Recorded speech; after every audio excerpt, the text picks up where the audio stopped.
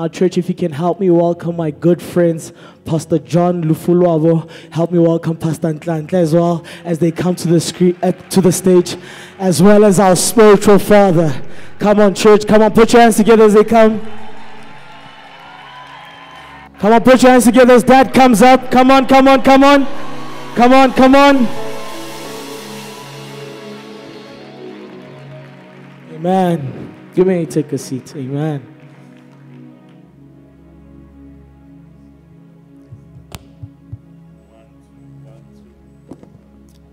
We check one, two. All right. Okay. Amen. I, I, I feel I feel bad every time I have to do this. How, how do you welcome a man to his house? I don't know. it's very difficult. The church on the far left is Pastor John Lufulab. I was just telling Pastor Dumila right now. Him and I go far back as I think high school. Um, if he's he's the he's an eyewitness, he knows me back in my DJing days.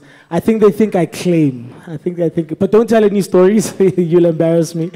Pastor John Lufula, we're doing a great work. He's the youth pastor at T- TFG. Uh, it is not not for the Foschini group, ne? Yeah.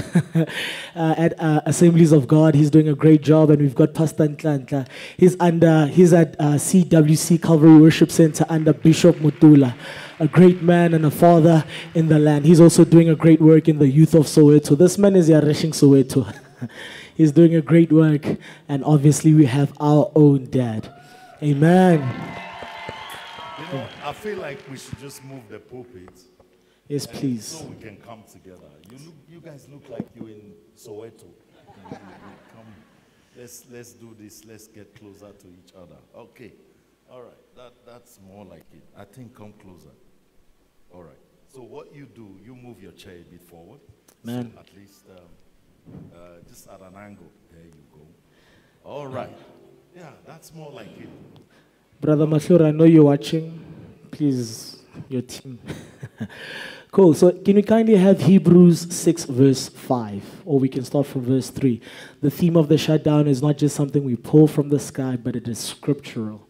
You know, uh, but the Bible says, uh, Paul starts first in verse 1 and 2. It's talking about babes dealing on the elementary stuff.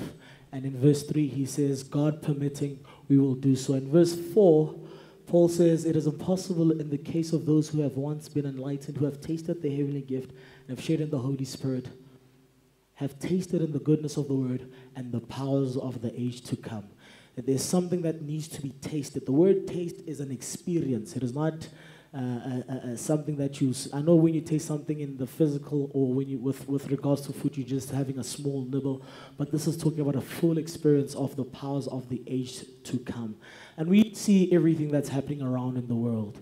The kingdom of darkness is intentional about the next generation. If you go to high schools and primary schools you'll know that there are so many sangomas rising. And we wonder why is the church not as intentional I want to ask first, Pastor Ntlantla. I know you from Soweto, and these things are very common. You see all these things. What causes the church not to be so intentional? Um, I'm greeting first. Greetings. Amen.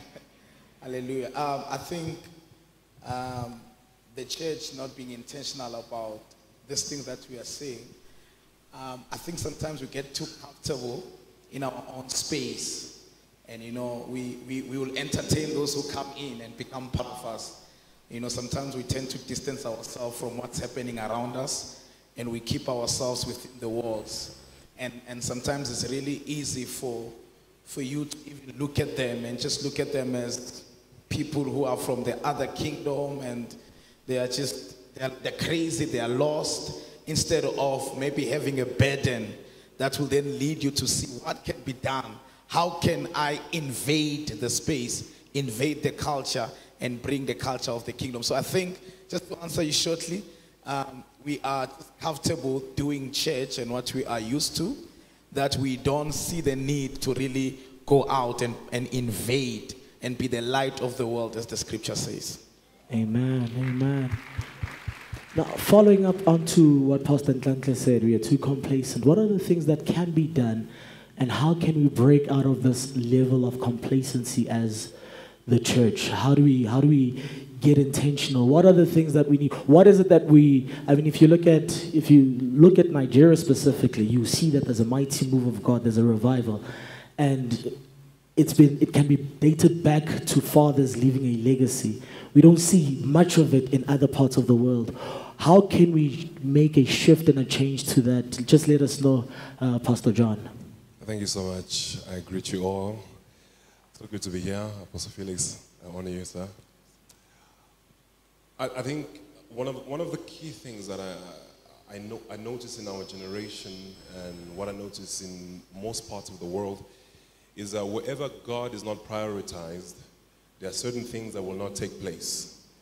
Because when we look at the list of our priorities, we see that we have school as, a, as our priorities. Parents would want to push forward the agenda of having their kids go to school. Uh, others would have their, their, their, their, children start businesses. Others would have their children in different things, which are, which are all good. However, the priority should be the kingdom of God. The Bible says that seek ye first the kingdom of God and its righteousness, and all these things will be added unto. And I believe that in order for us to see what we desire to see, what the Bible says that we should see, we need to go back to what the Bible prescribes for us to do, which is to put God first.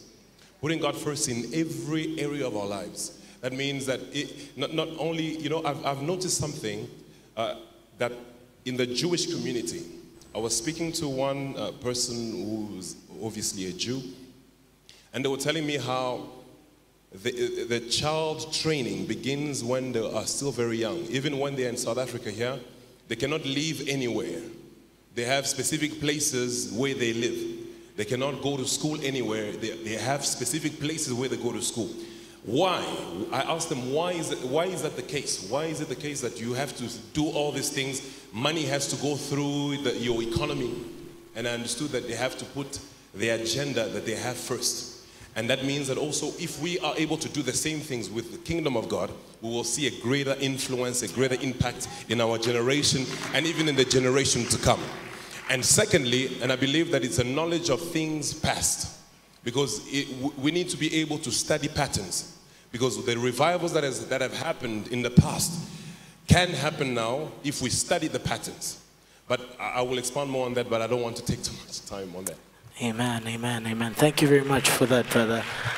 You know, one of the things about our spiritual father, like I see him, is a product of, you know, he's, he's, he's been, he's received multiple impartation from great men of God. You can see from his spiritual heritage uh, being raised. You know, one of the things that dad does not say, and I picked up in a private conversation, dad once or used to be, uh, how can I put it, uh, like Bulovo to Pastor Apostle Felix. So that would, Bulovo in this context would be Apostle Felix and Benson Idahosa would be Apostle Felix. So we, we talk, we read about him in, in, in, in stories.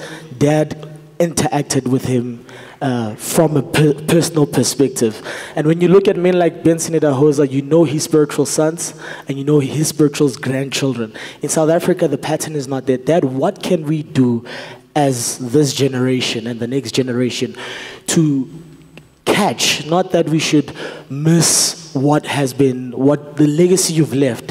What can we do as the next generation, uh, all those in the 40s, 30s, and even the 20s, to ensure that what you carry does goes on to the next generations?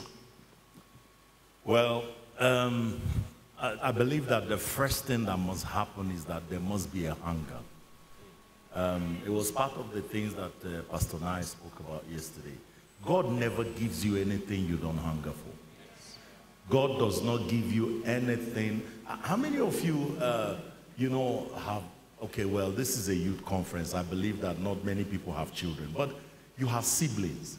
Have you ever seen your mother trying to force food into a baby that is full? What does the baby do? He spills it out. That's exactly what happens when there is no desire. You know, this generation needs to build a godly hunger for the things of God. And that we are not seeing in the church. You know, we are in a generation where we force people to come to church. We, we force people to pray. When we got born again, man, we were so on fire. Like, we were on fire. You, you couldn't stop us. We were beaten. We were chased out of the house. I, I, mean, for me, the moment I got born again, I was so on fire that it irritated everything around my father. And he chased me out of the house. And I slept in church for one year inside a church building that has no windows, no doors, and had mosquitoes as my roommates. There is no hunger. You don't find that today. The young people don't have those kind of desires. And so God will never put something on you that you don't hunger for. You have to really, He has to see a genuine hunger and thirst before these things, you know, can come on you. So that's the first thing that needs to change in this generation. A hunger for the things of God. Blessed are they that do thirst and hunger after righteousness, for they shall be filled. So that's the first thing. And then the second thing is that people also don't know the value of what fathers carry. In our generation, I mean, we saw these fathers. We used to seek for their blessing. I mean, being around someone like Archbishop Benson Idahosa, people like Bishop David Oyedepo. I remember many times when I would look at Bishop David Oyedepo and say, Father, whatever is in this man, let it come on me. He will be speaking. He doesn't know what I'm desiring while I'm sitting. But you find I'm speaking, a young boy is on Facebook. He can't get what I carry. It's not possible. He's on WhatsApp responding to messages. There is no hunger. So the, the, the, the second thing is you must have value for spiritual things. You must have what? Value. You know, recently, you know what I did recently? I was on holiday in Santorini, and while I was there, the Lord told me, He said, There is a farmer in this nation that is not going to be here for too long anymore. And what I should do, that the grace he carries is still sitting on him. Not even his own children has. This is what God told me. Look, I, I stand corrected, but man, that's what God said to me. That this thing has not been transferred. And he said to me, Take venison, such as he loves, not such as I like. And when he told me the venison, even me, I said, Lord Jesus, that's a lot of venison.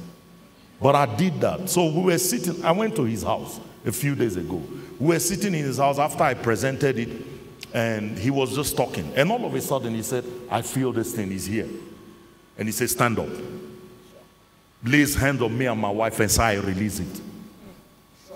That's it. Now, if you see me operating in the next dimension, You'll be saying Apostle Felix has muti. Uh-uh. No. There is a hunger. You see, you must value spiritual things. Unfortunately, you know, blessings are not seen, so we don't value them. But they are the things that really make you. Are you? Are we here? They are the things that make you. The Bible said that uh, Abraham gave gifts to the sons of the concubine. He said, but to Isaac he gave his all. He gave all. What, what is the all that he gave Isaac? After you've given gifts, what's left? So, what that all means is he gave Isaac what makes Abraham. So then you go down the, the, the, eh, eh, God called Abraham in Genesis chapter 12. By Genesis 13, Abraham was very rich in cattle, in silver, and in gold. Isaac, the same thing. He got so prosperous that the Philistines envied him because he had what his father had. I always say in the church, can you imagine if we have 50 Apostle Felix in this church? We would choke Satan out of South Africa. I promise you. We would choke. That is people that we will take this thing serious. So please place value on spiritual things. You're very young now. The things that make men are not seen. Are you here? You see, you wonder why here it's not very common. Uh, ritual killing and you know, people going to slaughter someone and take their private part just to make money or to get positions. Now that election is coming, I mean, I was in Swaziland and I made it, the, before I got on the pulpit, the, uh, the pastor said to me, election is coming and one of the things that's predominant during election is that young girls are missing, young children are missing. And I made a decree. I said, any politician that would take any young girl, let judgment strike them. They called me back and said they caught some politicians with some young girls heading towards the bush to go and slaughter them. I received that call. So, so what am I saying? place value on the things you don't see. You see, the invisible things are the things that make men. If we tell you what is standing behind us, they are not seen. But when we stand here, we know we have backing. Hello? Amen. Yes. Amen. So please place value on spiritual things. Place value on your coming to church. Place value on your giving, tithing. These are these are not these are things that people don't see, but in the long run, I have been tithing since I got born again. Now today, people are wondering how do they catch up with me? You can't catch up. It's impossible. I've laid so much foundation for success that you cannot catch up in any ramification. If you take me to them, make me the president of South Africa, this nation will succeed. By the blessing of the Lord on my life. It has nothing to do with who I am. It's just what is on me. And you see, when you receive these things, nobody can take them from you. You receive them in your spirit. So you take an Apostle Felix, take me and put me in one jungle in Zimbabwe. Give me another 10 years. You will meet a church like this in Zimbabwe. Why? Because what makes a man is not what is on the outside. Place value on spiritual things. Sure. Sure. now, now, now, a little bit that you should know the panel discussion is important that we have two pastors, but can you see the value of having wisdom? Amen. Amen. There's questions I have, but Dad, I want to ask a question. With the authority and the, the authority you carry, how does, because what I realize that we struggle with as the younger generation is that the more God gives us power, the more prideful we become. Right. How is it when you increase in rank, you remain humble? What are the keys that we need to take from that? Well, the truth is, you know, if you are a student of the Bible, you will understand that God, the one thing that will throw you away from God's presence is pride. That's what killed Satan. So even us who God has been privileged to give this certain level of authority, we are intentional to be humble. The Bible says now Moses is the meekest man on the face of the earth. And I mean, look at, he was the one that led three million people out of Egypt to, to the land. Well, obviously stopped in the wilderness, but there is a certain level of humility that as you go up, you intentionally have to, you know, because the Bible says God giveth more grace to what? To the humble, but he resisted the proud. So you have to, on purpose, look, it's not that we we don't feel it like, oh man, it's such a nice thing when you are given such honor. I remember one time I went to Nigeria to preach and they picked me up with 40 cars with military police. The national NTA was waiting for me in the, in the airport. They were interviewing me. Man, I felt like the president of the world. But man, you know, after receiving that honor, you know, inside you, you are telling yourself, Felix, humble yourself. This thing is just a facade. Just know that, listen, the moment this thing gets to your head, you are, you are finished. So you finish all that, you go to the hotel and kneel down before God and say, Lord, I give you all the glory for this honor that I've received. That's it. You pass it on immediately, otherwise, something will start swelling in your head. And, church, when your head is bigger than your neck, so bigger, uh, you have a problem. That's it. Sure. Amen. I hope you learned something from that because I strongly believe one of the reasons why us young people don't walk in power is because God can see our hearts and how prideful we are. Right. You know, a few something happened a few days ago. Pastor Berenji touched on it last week when he was preaching. There was a young man um, who was doing his fourth year in engineering. Um, I don't know what he did, but he was apparently fasting and something happened and he started hearing voices, you know. Um, he was, I think, I don't know, it was hunger but deviated. Um, Pastor Benji had an encounter with him, Pastor Norbert had an encounter with him. We tried to call, I think they tried to call Pastor Victor, but he was not available. But this boy, if Pastor Benji were to give you details, you would see that this boy was fasting and seeking for something, but he caught a demon. Now, you spoke about hunger. How do we make sure that we hunger for pure things and avoid all? Uh, I mean, if, if you hunger with the wrong motive, you could attract something that's not godly. How do we work on it uh, and, and ensure that we, we, we stay in the right place? Because longevity is another key that we need to look out for. How do we ensure that we stay on the right path with regards to our hunger? I think that this is a very, very important question uh, because I, have experienced the same, a similar case where there was, a, um, there was a young man similar to that. He caught another spirit, and this spirit told them, started telling him that he needed to tell the choir um, the songs that they should sing. Um, and um, and the, the, spirit was also telling him the person that he was going to marry, who was also in the choir. And this was somewhat, you know, I was looking at it like, what kind of spirit did you catch? Because it, we came from a period where we were preaching on revival, we were preaching on the fire, catching the fire. However, whatever hunger you have, if you eat the wrong thing, you will have the wrong result. Imagine you are hungry and you eat something that is not edible. The result will be tragic but it is eating the right thing that ensures proper growth, that ensures longevity, as you've mentioned, and hunger with the right knowledge, Bible knowledge. Because sometimes the, the, the spiritual realm is so vast to the point that you can catch anything if you are if you're not guided by light. Right. That is why this thing that nowadays we have um, people speaking of meditation and they're doing meditation like the world speaks of meditation, not the way the Bible we speak of Bible meditation, but they speak of meditation where they clear their minds. We don't do that. We don't clear our mind. We focus on Jesus. The Bible says, looking unto Jesus, the author and the finisher of our faith.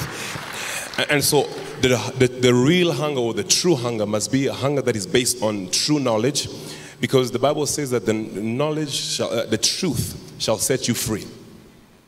It is not any kind of knowledge that sets you free, but it is a truth.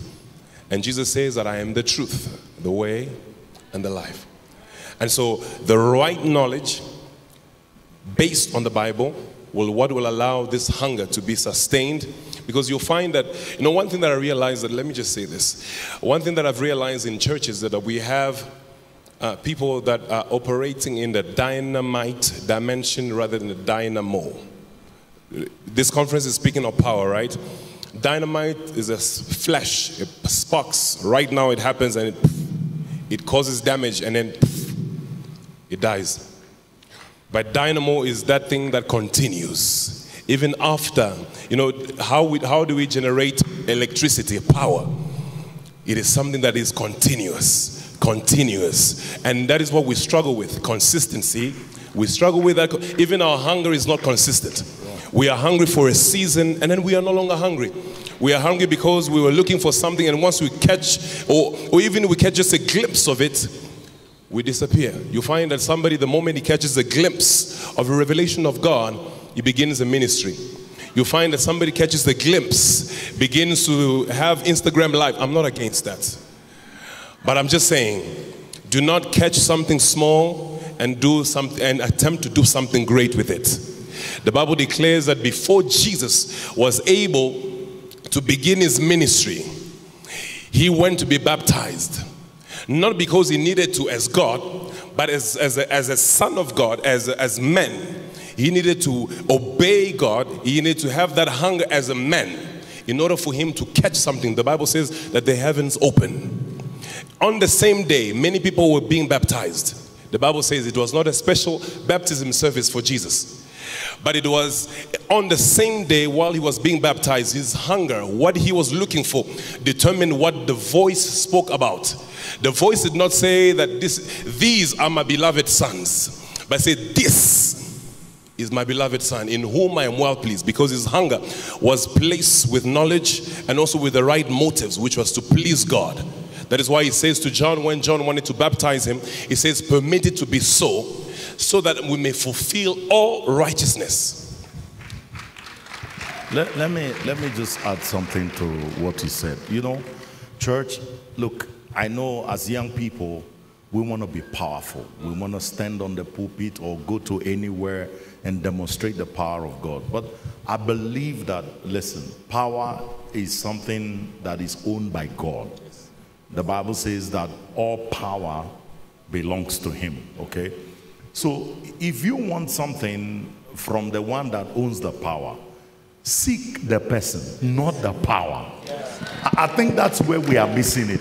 So if I come into God's presence and just worship him, adore him, just love on him and pray to him and believe, you know, spend time with him. What will happen is that as I come out from that place, I come out with a residue of him. Many years ago, I wanted to buy my late wife uh, a GLE. No, not GLE. It's a GLS, the longer Mercedes. So it was a used car.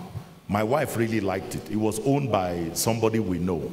But the guy has been a smoker and he used to smoke in the car. He just bought the car, it was still very new. So he gave us to test drive the car for one week. Now, every, I even drove it to church. When I come out from the car, I'm smelling of cigarette, and I have never smoked.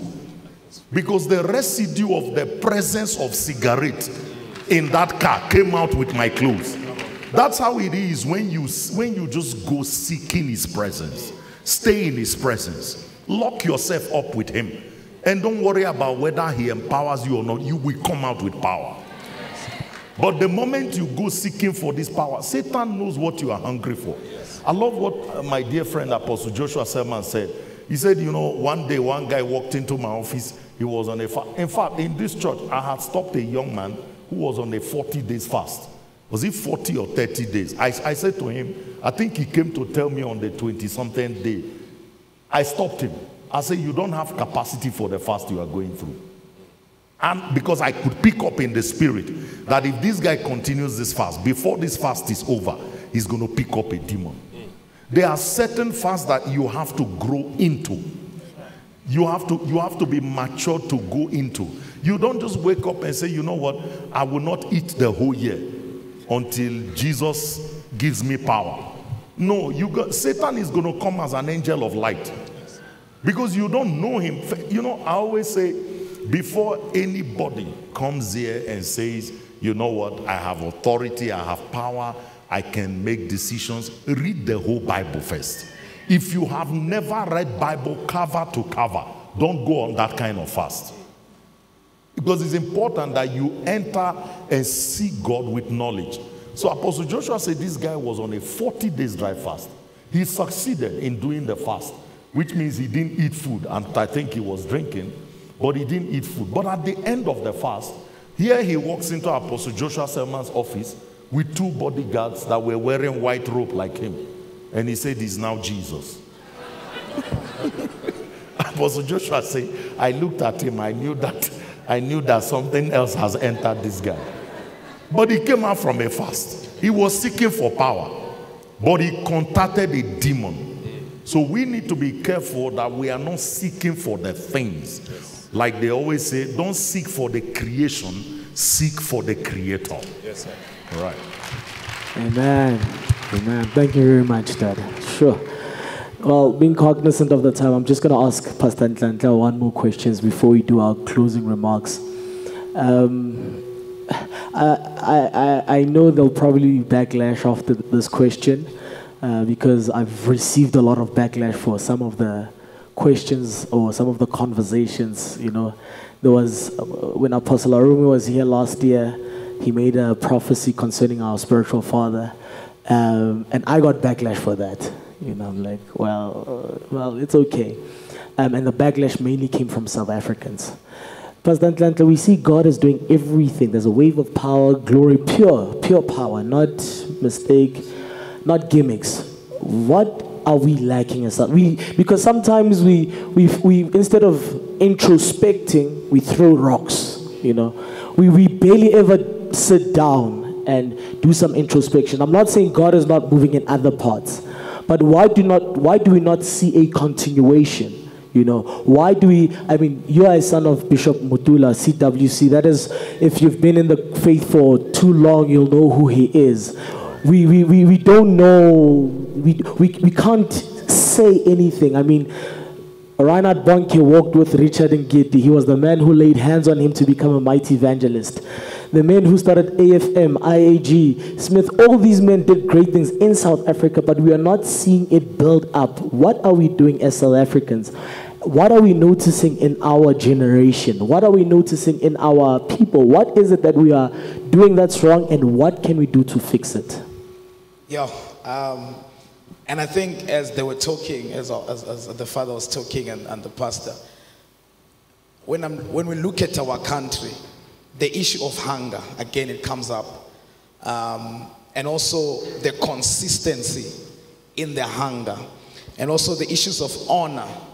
When we look at other countries and other parts of the world, and we look at how they honor uh, the fathers or the servants of the Lord, and we look at our country, especially us young preachers in this country, everyone wants to be the father, everyone wants to be, and also the issue of titles. People are not caring anything, but they're just looking for titles that will cover up for their lack of function. So there's no function, there's no track record, but I am apostle so and so. It's like we are we are trying to achieve with the title what we are failing to labor for. That's right. You know, the labor, the genuine that's act, powerful. the labor, they're going to the secret place, seeking the Lord, which comes from a place of hunger. Because hunger really is a gift. A gift that when God gives you, it will allow you to, to go into deeper dimensions of God. Because hunger makes you want to eat. The only way to respond to hunger is to feed. So when I'm looking at our generation as it's those combinations of hunger, of honor, of even wrong motives. Uh, the, the guys that are fasting, going on mountains, when you look at the motives, it's just that good. thing. When I walk into a place, I want to walk in with an entourage. I want to, I want to be on Facebook. I want to be celebrated. But there is no genuine desire to, to say, Thy kingdom come, Thy will be done on earth through me as a vessel in my, in my nation and in my generation. And also, one more thing that I've been noticing lately, speaking to that question. I believe as a nation we have our own identity. Our country has been struggling for the longest of time with identity. You know, back in the years, everyone wanted to be like an American preacher. Now, today, everyone wants to be like our brothers um, uh, from Nigeria. They want to preach like them, they want to sound like them. And then I'm asking myself, don't we have our own identity as a nation? Don't we have a heritage of faith as a nation? Don't we have our own landmarks, ancient landmarks as a nation? And, and so instead of undermining our own and celebrating people from outside, can we begin to learn from our own who have walked before us and find the ancient landmarks and the patterns, and then we follow them in our own unique identity? Amen. Sure. Okay. Before we do our closing remarks, you know, Dad said something earlier on. He said that he went to go sow a seed, and the man who he went to go sow a seed to is a father in the in the land. Now, it's it's it's, and these are not to. We're not talking down on ourselves. Okay, I was saying to the youth earlier on. The Bible is simple. By their fruit you shall know them. It's the Bible. Be fruitful and multiply. First command that God gives to man. Have fruit and multiply. By their fruit you shall know them. So if there's no result, something is wrong. Right? Why do we not have, I mean, God spoke to dad to go speak to a father in the land, to go sow a seed. In every single one of us in South Africa, the people who claim to be fathers, they were not visited. But God visits Apostle Felix. How do we end that disconnect? That like how, how how do we? Because one of the things I've been intentional about, I can't be saying I serve Apostle Felix, I carry his Bible, and there's no fruit of his work in my life. Oh. How do we? I, the it's not that I call dad that makes him my father. It's that I produce results like him. How do we end that gap, Dad? Um, I think he spoke about something very important. There's one thing that is lacking in the nation is honor. And honor, you know, uh, Mike Murdock, in one of the laws of um, success that he, he said, honor is the seed for access. And the moment you don't have honor, you can't access what these men have. Elijah said to Elisha, stop here. I'm going to Gilgal. He says, Listen, as thy soul liveth, and as the Lord liveth, I will go with you. It was a test. He went with him. Then they got to a certain place. He now said to him, Boy, what do you want? He said, Listen, um, I want a double portion of your spirit. You know what the man answered him? If you see me when I'm caught up. Meaning you have to be such in close proximity that even when I'm in the toilet and I'm poo pooing and the smell of my poo poo is around, you must smell it because I can be taken while I'm poo pooing. Are you able to honor a man even in that type of mess? So that's where the problem is. People, people, you know, once once you find, like even amongst us here, many are struggling with honor on father and mother. We understand that they did wrong. That they did wrong does not mean you don't honor them. Are we together? It, it, listen, you can't, you can't give excuse against scripture. Honor your father and your mother, that your days may be long, that it may be well with you. Children, obey your parents in the Lord. So these are these are things that we are struggling with. Is the issue of honor that we don't have, and it needs to come back to the body of Christ. There is no honor. People don't honor. I mean, look, we understand that many men of God have made a lot of blunder, honestly speaking. Look, even with us, we all know that there's been a lot of mess. People have taken advantage of people and you know, they've done so much wrong to the body of Christ that in, you know, it, it's now uh, spoken of by every Tom, Dick, and Harry on social media. So it's become like a pattern now on social media to dishonor men of God. You will see somebody just bring out picture of so and so and say these are all fake prophets. I mean, how does somebody, a little boy like, there's a boy called Prof X, come out, put the picture of a Adeboye and say, you, this guy has walked with God. He's 80 something years old. He's walked with God for almost 50, 60 years. Produce the kind of result that if they give you 10 lifetime of 100 years, you will not produce it. And you open your mouth and say he's a false prophet. Then you, you now know why people don't live long. People like that, you'll be surprised. One thing, one thing, he's gone.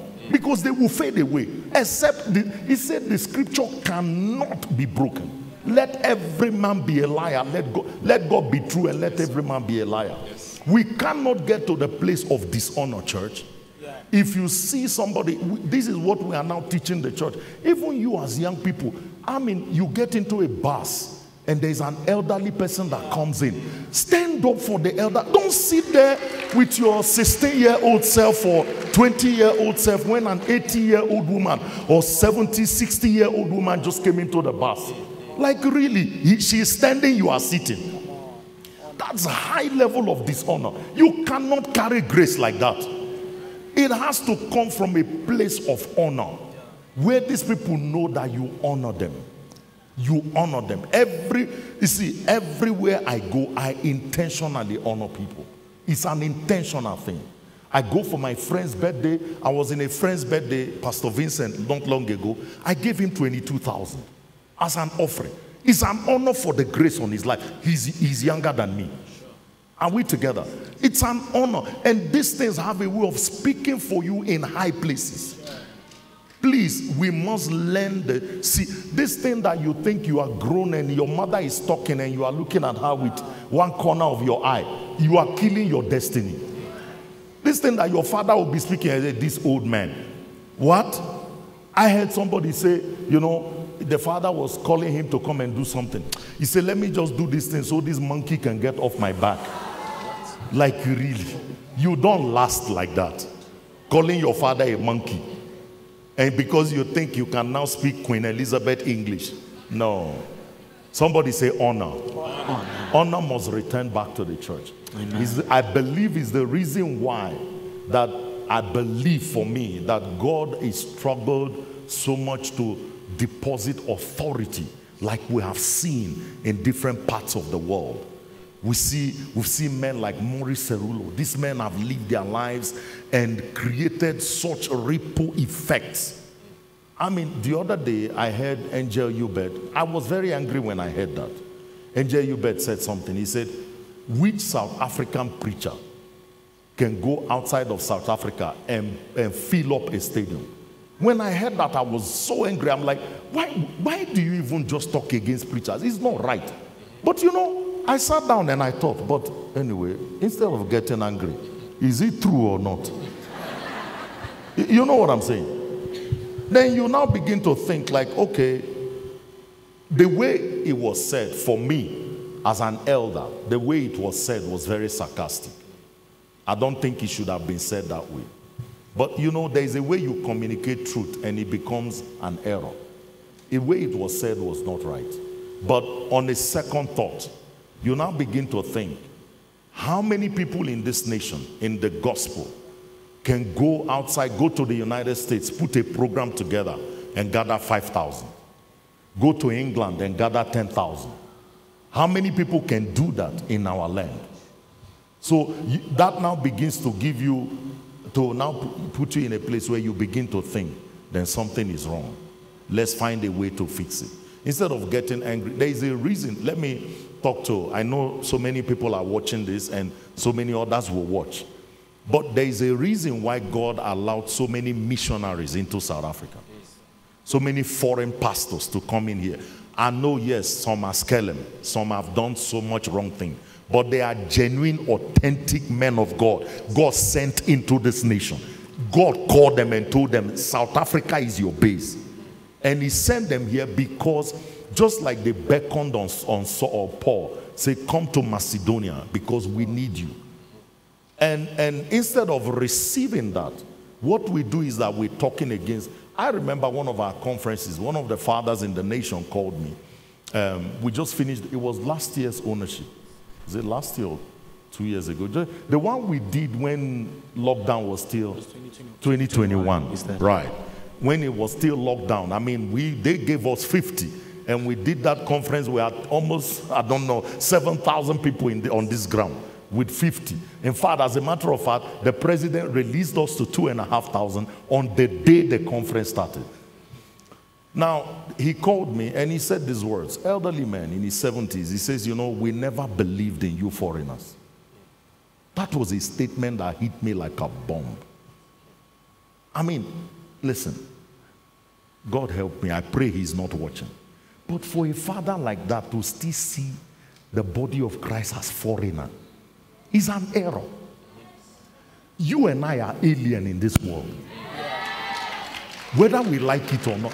Let me tell you, when God created the earth, there was no boundaries. It's human beings that divided South Africa and Zimbabwe. It's not, there was no boundary. It is a human being that divided uh, Botswana and South Africa. So we're now talking as the world, where we now say, okay, you know, um, these are foreign, these are no foreign. That's why in our church, we don't know anything about foreigner. No, we are one in Christ. There is no foreign blood. It's nothing like that. It's one of the things I have against this dude called Gayton, is it McKenzie? That, that he says he's going to go to the hospitals and pull out the oxygen of foreigners. He has no value for life. He can't be, that should, he doesn't qualify to be a president because he does not understand the value of people's life. Listen, what, do you know what Jesus compared to one soul? A whole world. And then now you now go and say you can go pull out an oxygen. Listen, if somebody from Ethiopia is sick on the bed, every Christian and is a Christian, we should all rally and pray that God heals him. Are we together? It do, listen, as long as we name the name of Christ, we are one in Christ. And if we can have that mindset, so all this this thing about foreign and non-foreign, let them go back to their country. I understand all that. But you see, you, you guys are young. In those years when there was apartheid, many black people took covering in African nations. And nobody told them to go back. Now that you are free, you are now telling people, go back, you are our greatest problem. That, that mindset needs to change for the body of Christ. It shouldn't be so. I hope that gets across. Amen. I hope it does. It's not an easy one to take. However, I think we need to sit down and take this in. I hope you were not offended. We have quite hard uh, topics here and uh, uh, quite hard responses, but something needs to change. So we need to take this, sit down, evaluate. I'm praying that in our generation, Felix will not go with his mantle. I, I'm, I'm praying. Dad will not go with his mentor. Amen. Dad, you're not going with your mentor. No, you in know. Jesus' name. You, will no, not. while I'm alive, all of you will be having double portions. Amen. It's, there is nothing like I have to go. In, in, in, Uh-uh. in, in fact, in fact, Dad, it's actually happening. Do you know we have two 22-year-olds with properties in their name in Alive Youth? Definitely. Dad has the mantle of property, and it must happen. I just want to ask you, young people. I know there's a lot of things that are being said. Um, just take your Christianity seriously. These things can be received while our fathers are still here. Yes. These things can still be received. We can carry these mantles. I, I, my desire, you know, I, I say this, they, they always fight me, but I tell every single young person we do a lot of overnights, we do a lot of prayers. I spend a lot of time with them, but whatever happens, even if I raise the dead before you, I'll never be your father. You have one spiritual father. Am I saying this to please you? Have I not said it before? How many of you have heard me say that? And quite a lot of people have heard me say that. Why? Because what makes me me is sitting upon Apostle Felix. So if you want to, to be like him, follow him. South Africans, if your spiritual fathers out there, just follow him and honor him, obey him. What our fathers carry helps us. Prime example, Pastor Colin Malumeke. Amen. There's a lot of people who I speak to and I say he's a byproduct of this church, and they say, No, you're lying. But what he's doing is replicating the results. He didn't wait for dad to go. Dad is still alive right here. He's still running around and he's still standing strong. No problem, no ache. In actual fact, dad looks too good for a 50 year old. You see other 50 year olds, hey, eh, you, you know it's, it's, it's trouble. But when you look at Pastor Colin, you know that there's value in paying honor to your spiritual fathers. Amen. Now, in closing, closing, any closing remarks, we'll start with Pastor John, start to go with Pastor Ntlantla, and Dad will close it off. Amen. All right. This, is, this has been insightful, not, I believe not only for you, but also for me. Uh, I've learned quite a lot from Apostle and Pastor. One thing that I- I'd like to end with um, is that while they were speaking, one thing that kept on coming back to my mind was that there are those that want, that would rather have you run with it, meaning that the kingdom agenda, the kingdom plans, it is your plan, run with it. And they see, they see no part that they can play in that agenda that God has for our time and in our generation. And that is one of the things that we see in South Africa, that indifference, that these things are for the apostles, for the prophets, for the pastors. And I have no business in that.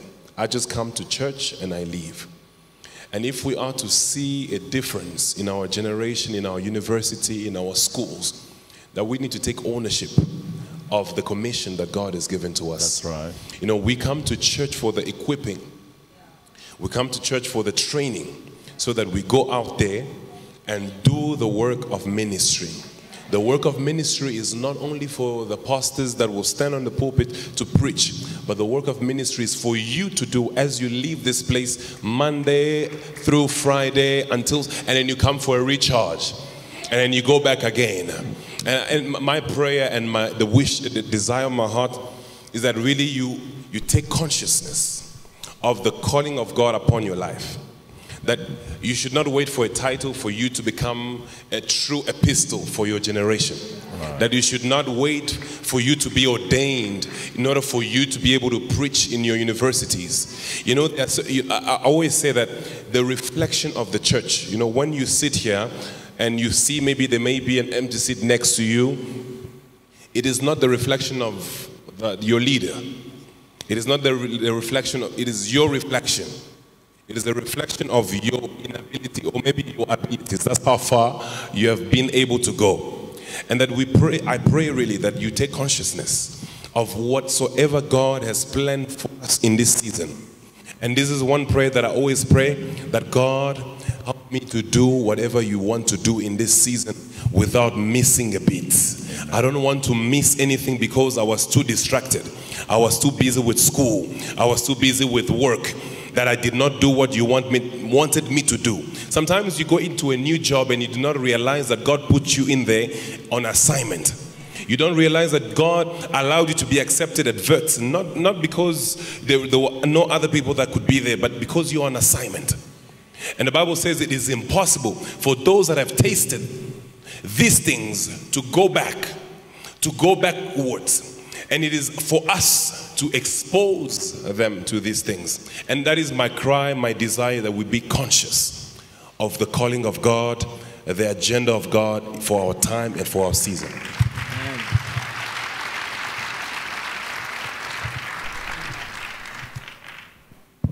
Amen. Um, I just want to, for me, my closing remarks will be still gulentole of hunger. You know, that my prayer for us is that may God give us a genuine, genuine hunger for Him. Not just for what we can get in Him, but for Him as the lover of our souls, as our maker, as the author of our lives and the author of our salvation, that we may have a genuine hunger for Him.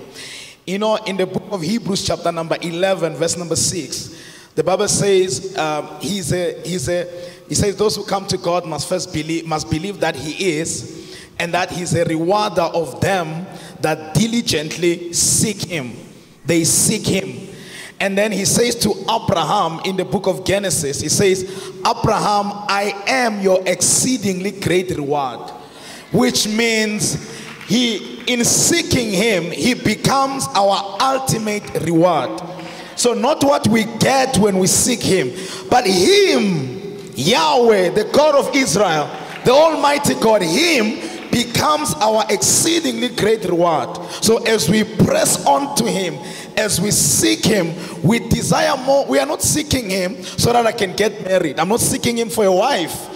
I'm not seeking him for a job or for a promotion, but I'm seeking him for him. And I long and hunger for God, for God.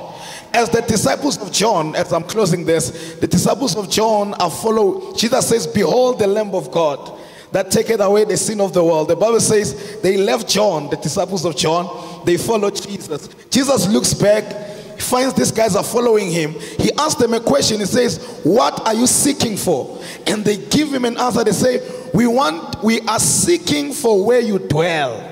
We are seeking for your dwelling. So, meaning we are seeking for your presence. We want to abide with you. So, may we seek him for, he, for where he dwells. May God bless you. Amen. Well, um, I want to say to the youth, um, haven't picked up the emphasis of heaven now for this nation. The eyes of the Lord are on the youth. Um, you know, one of the things plaguing Africans is that they don't know when their time has expired. And that's what's happening to many of our old politicians. You find out that many of the leaders of Africa have expired. They go to meetings and they sleep because their body is tired. They still want to be president at 90. But the emphasis of heaven now, as South Africa today, is on the youth. Amen. And all I want to say to you is that, peradventure, you are here. Let's say you were given the position to be a president of this nation. Are you ready? You see, so start preparing for where you are going. Because God is preparing you for something great. Are you ready for what next? These old people, I think Africa is tired of these old men. They don't want to leave power. They know they are wrong. They know they can't handle the pressure. Look at, I mean, look at the decadence that we have seen in South Africa. I happen to have been in this nation now for 23 years. And from 23 years ago till today, things have degenerated. I mean, uh, we have reached a point now where they say 80 people die from violence, gunshot, every day. And the leaders know it and they can't do anything about it. It shows they are tired. Africans need to know when God is moving them out of the way. The Lord spoke to me. I was on a three days dry fasting on this altar. He said, Make Pastor KG the resident pastor of this church so that I can get out of the way and I will go to the nations. That's it. If I say I want to hold on to this pulpit, after all, I build this with all. Eh, you built what? No, God built it. You should know when to exit. And uh, until Africa gets to that point, we will keep running around in circle. The leaders of this nation are all tired. If we face fact, they don't know what to do. They need to leave this thing for young minds who still know how to figure out things, who can come up with technologies that will solve the problem of this nation. You'll be surprised if they can pick one guy from varsity, make him the head of Eskom. You'll be surprised. But they will not because they will, they're still looking for some gray headed man who has no sense, who is tired. When he's in board meeting, after five minutes, he starts snoring. We can't go forward like that. The emphasis is on the youth. Prepare yourself for greatness. Prepare to run banks, even at your age. John Dell, the owner of Dell Computers, began Dell at 19. Are we together? Look at all these great men. Many of them started in their in their teens and in their in their teenage years. Some of you are too old. You are too old. And they still pursuing you to go and wash your underwear. How will you, how will God trust you if you, you're wearing one underwear for six days? God can't trust you like that. No. Prepare for where you are going. You can't make your own bed. You stand up in the morning, dash out of the house. You can't even make your bed. How do we commit a nation to you? Okay, you won't like me. I know you. There will be no clap. I know. I understand. But you see, church, you prepare for greatness. Greatness doesn't just land on you, you prepare for it. Greatness can kill you. I said this morning in our prayer time when we were praying in church here, I said, rising is very easy, but the greatest challenge is staying on top. Many people rise and they fall. And that is with most Christians because we don't have what it takes. We didn't go through process. We didn't learn the process to get up. Emphasis is on you now. You are the owners of Absa Bank today. You are the owners of Nedbank today. You are the owners of Standard Bank today. You are the ones that will run the economy today. Say amen, somebody. So if you are ready for that, you will see God begin to take these people out and God will begin to make you. I read a scripture and all the people gathered, Second Chronicles 26, and made Uzziah the king. 16 years old was Uzziah when he became the king of Egypt of Israel. But the Bible says now the guy began to seek God in the days of Zechariah, meaning that as soon as this boy was made king by men, he never forsook God. Look at many. Um, today, I hear that some our leaders, some of our leaders in university were in the were born again Christians. Today, they are going to the mosque to bow their head. They are forsaking God. A nation where we can marry two men and give them two marriage certificates, we have crisis. We have a serious problem. It's a nation of godless leaders. And that's why I was saying that in this next election, I've registered. It's so hard to find who to vote for. It's like bringing two demons in front of me and say, choose one. How do you choose a demon? You know what I'm saying?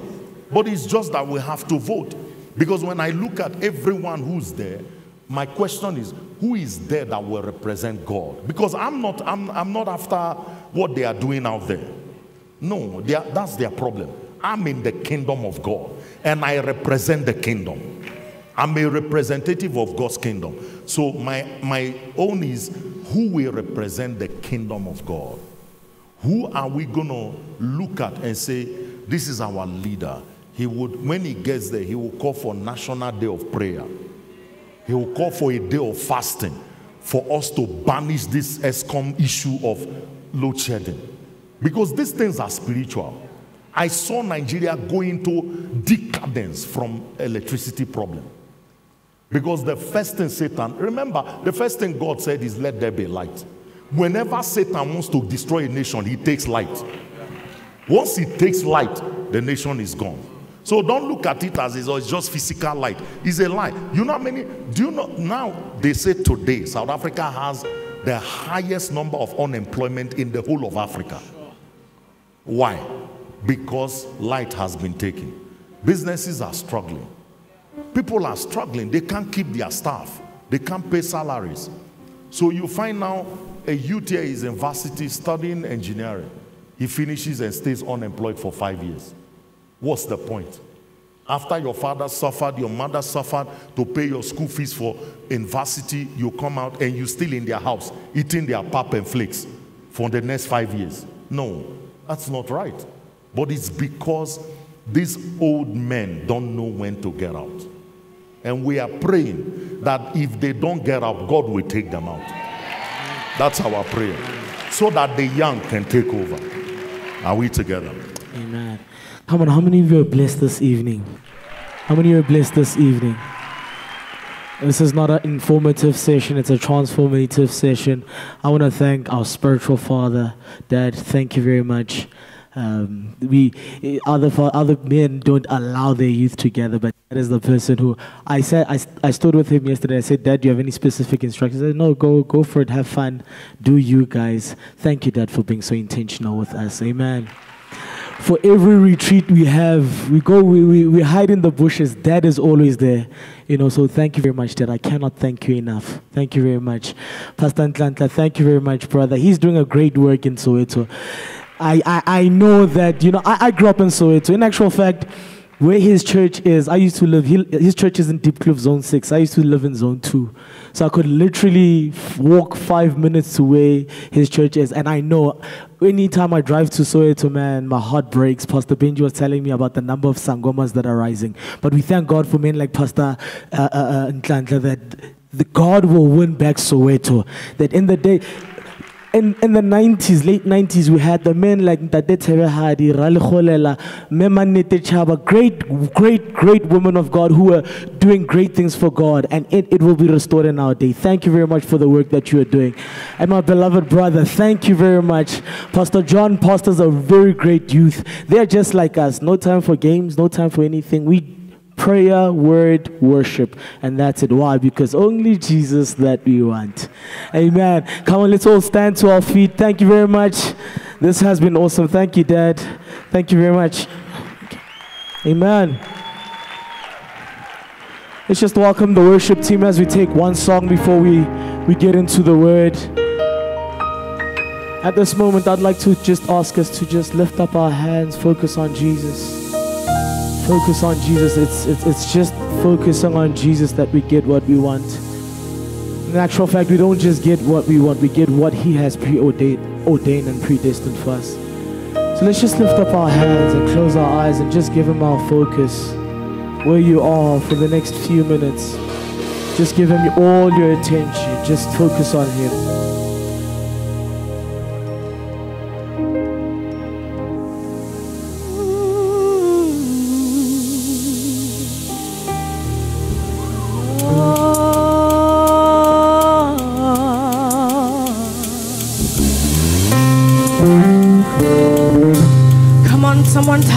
Much you desire Him. Let hunger fill this room tonight. Let a hunger begin to fill this room tonight.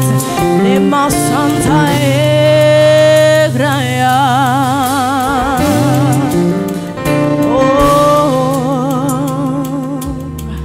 your presence is my one desire.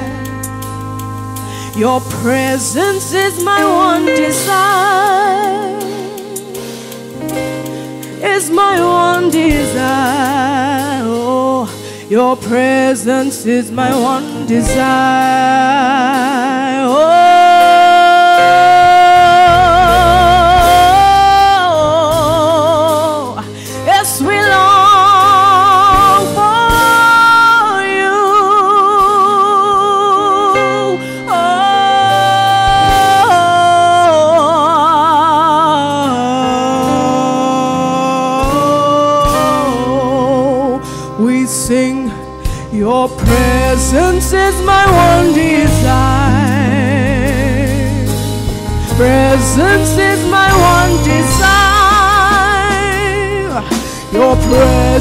Presence is my one desire. Your presence is my one desire. Oh, your glory is my one desire. Your glory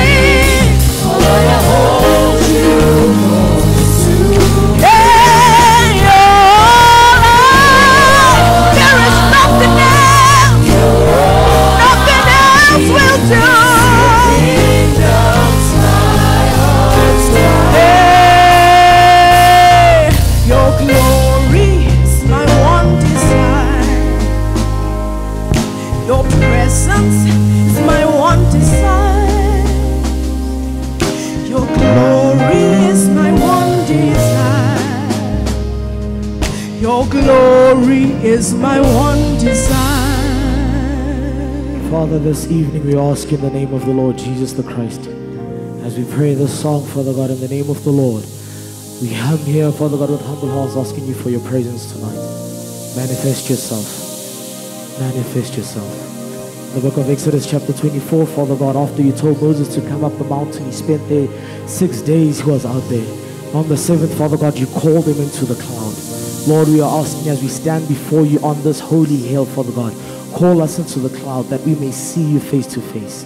Bring us into the place of Panim El Panim. Lord, we desire for your word. Just for 10 seconds, just align your heart. If you are where you are, just close your eyes and prepare your heart for the, for the word of God.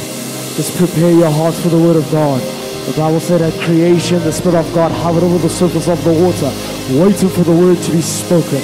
Ask the Lord that, Lord, hover over my heart, that at the speaking and the release of the word of God, every single thing will begin to manifest. We ask you, O God, in the mighty name of the Lord Jesus the Christ, that at the entrance of your word, Father God, there will be light here tonight and that there will be understanding to those that are simple. Lord, we ask in the mighty name of the Lord Jesus the Christ, even as you are here in this atmosphere, oh God, capture our hearts. May we be captivated with your word, O God. In Jesus' mighty name. Amen. You know, I perceive strongly that God wants to release something heavy here tonight. One of the things I normally say is that when you perceive that God wants to speak in that moment, focus on Jesus. I would urge you that throughout the whole service, pray in the Holy Ghost. Why? Because God wants to do something in your life. You have a dear brother and friend of mine. I love this man with everything in me. He's been with me through the toughest of times. Man, I could even share a tear. Last year I was going through a very bad season and he was standing with me. Nobody knew what was what I was going through. Only dad, my wife, and him. No one else knew. In actual fact, only him till date. My dad, my dad and my wife, only they knew. And he would stand with me, prayed for me every single time, every single season. He walked with me. He's one of those people when I look at him, I know that God truly loves me. He's a man who's passionate about the Word of God. He's a man who's passionate about prayer. He didn't come alone, he came with his beautiful wife. Amen. Amen. You're welcome to put your hands together.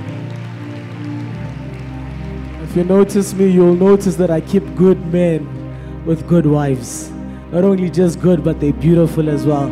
So don't say God spoke to you and told you that Pastor Tumelo is your husband. No, that's not God. It's a spirit you pulled from somewhere. Amen without wasting of time. If you were here last year, you know that God is about to do something. God is about to do something. God is about to do something. Now, church, with excitement in your heart and joy in your heart, come on, put your hands together and help me welcome Pastor Tumelo Mushi. Come on, church. Come on, church. Come on, church.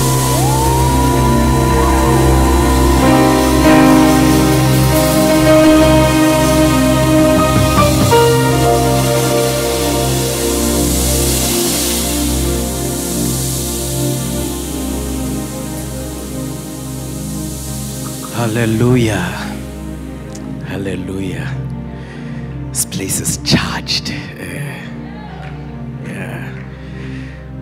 Just focus on the Lord? Father, thank you so much. Thank you so much. We came here expecting you. We came here hungry for you and we will not leave without being filled.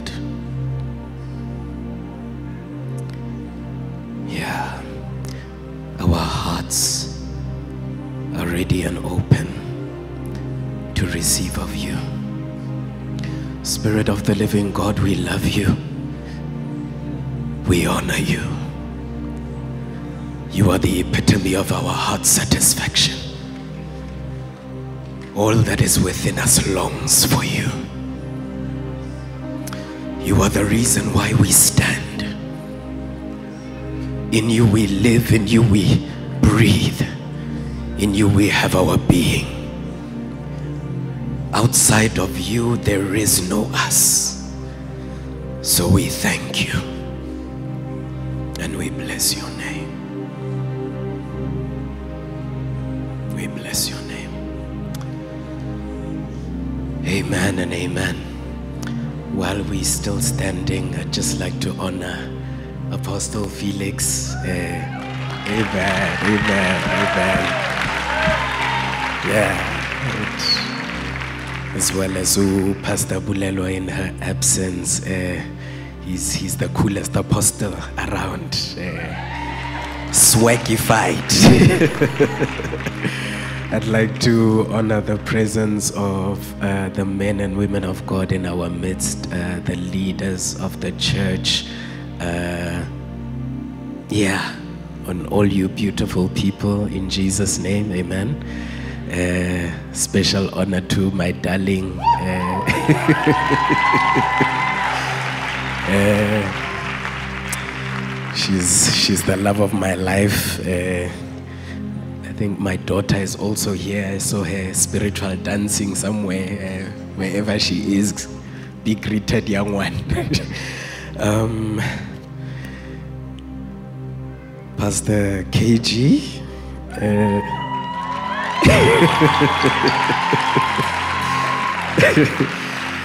Hey, uh, yeah, I, I don't have words. Uh, thank you. Thank you. Uh, in as much as you say, I have stood with you uh, in hard times, I feel like that sentiment is more from me towards you, you know. And thank you. Thank you. I don't want to get emotional, so I'll keep it there. In Jesus' name. Um, okay, I'm very nervous mainly because uh, of Apostle Felix. and if you see me shaking, it's not the anointing. Uh, I'm very nervous, you know, so just say a prayer for me. Uh, and just before we get into the word, uh, just to anchor my nerves, um, is the song in my heart. I'm not sure if you know it. Uh, Lord, prepare me to be a sanctuary, pure and holy, tried and true, with thanksgiving, with thanksgiving. I'll be sanctuary. Sanctuary. Lord, for you. Lord, for you. One more time. Lord, prepare me Lord,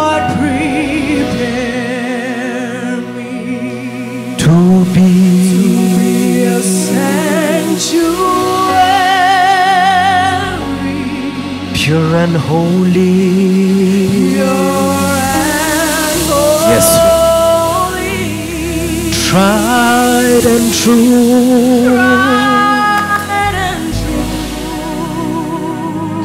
With thanksgiving.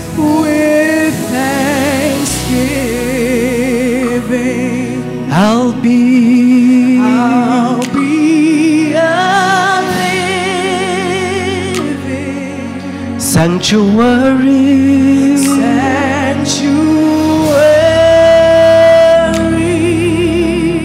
Lord, for you. Lord, for you.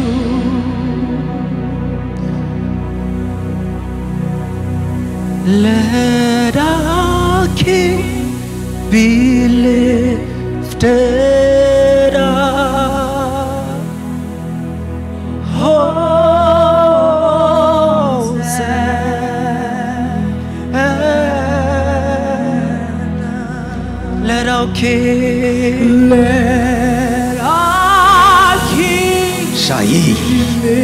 Shai, Shai.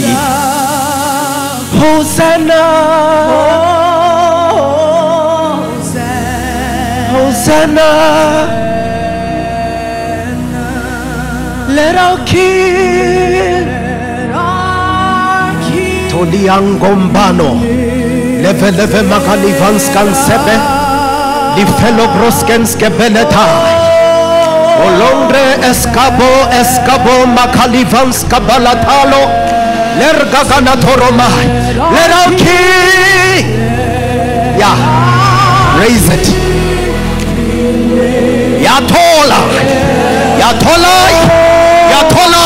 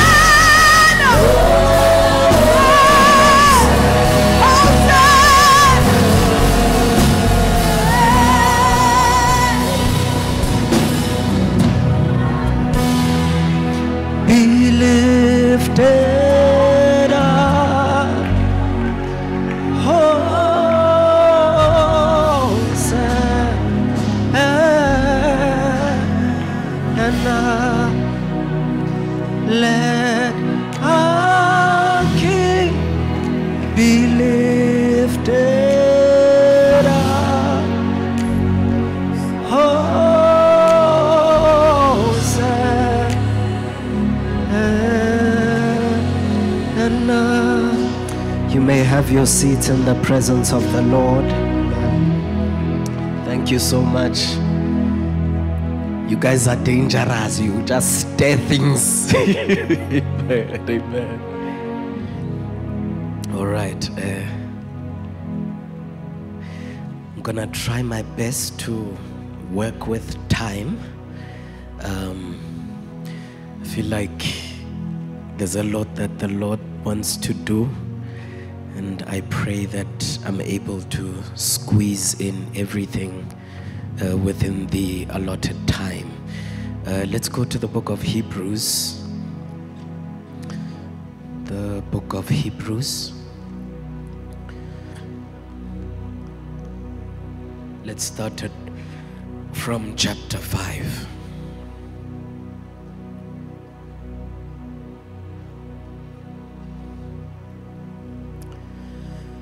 Book of Hebrews from chapter 5, I believe it's verse 12.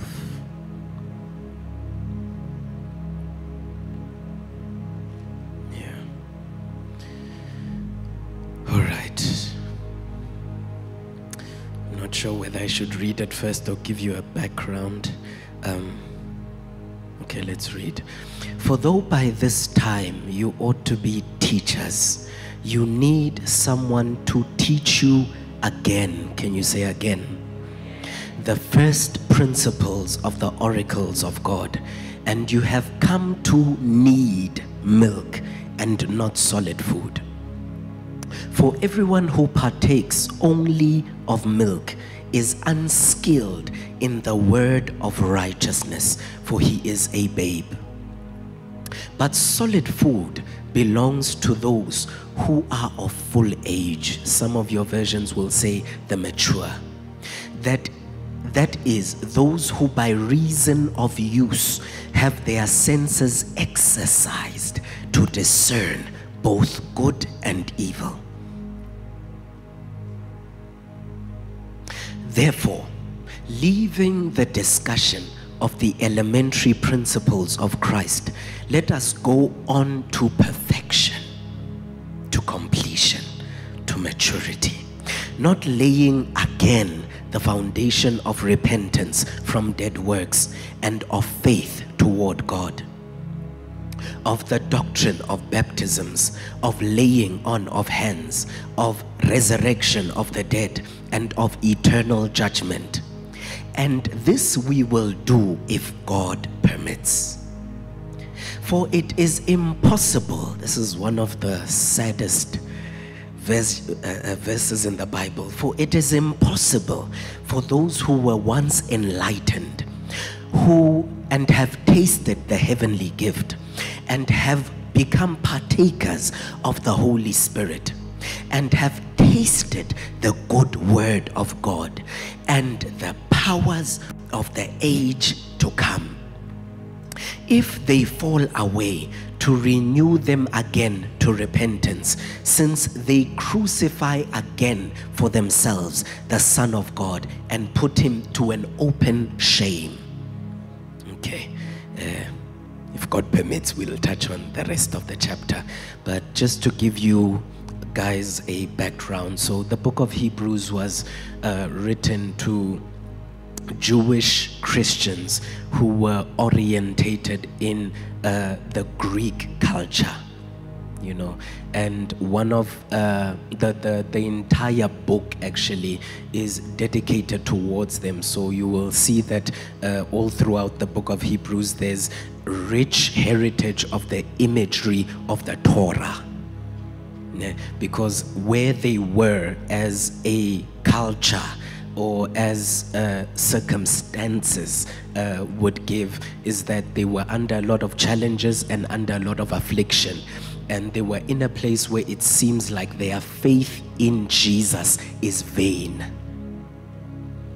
Are we all together?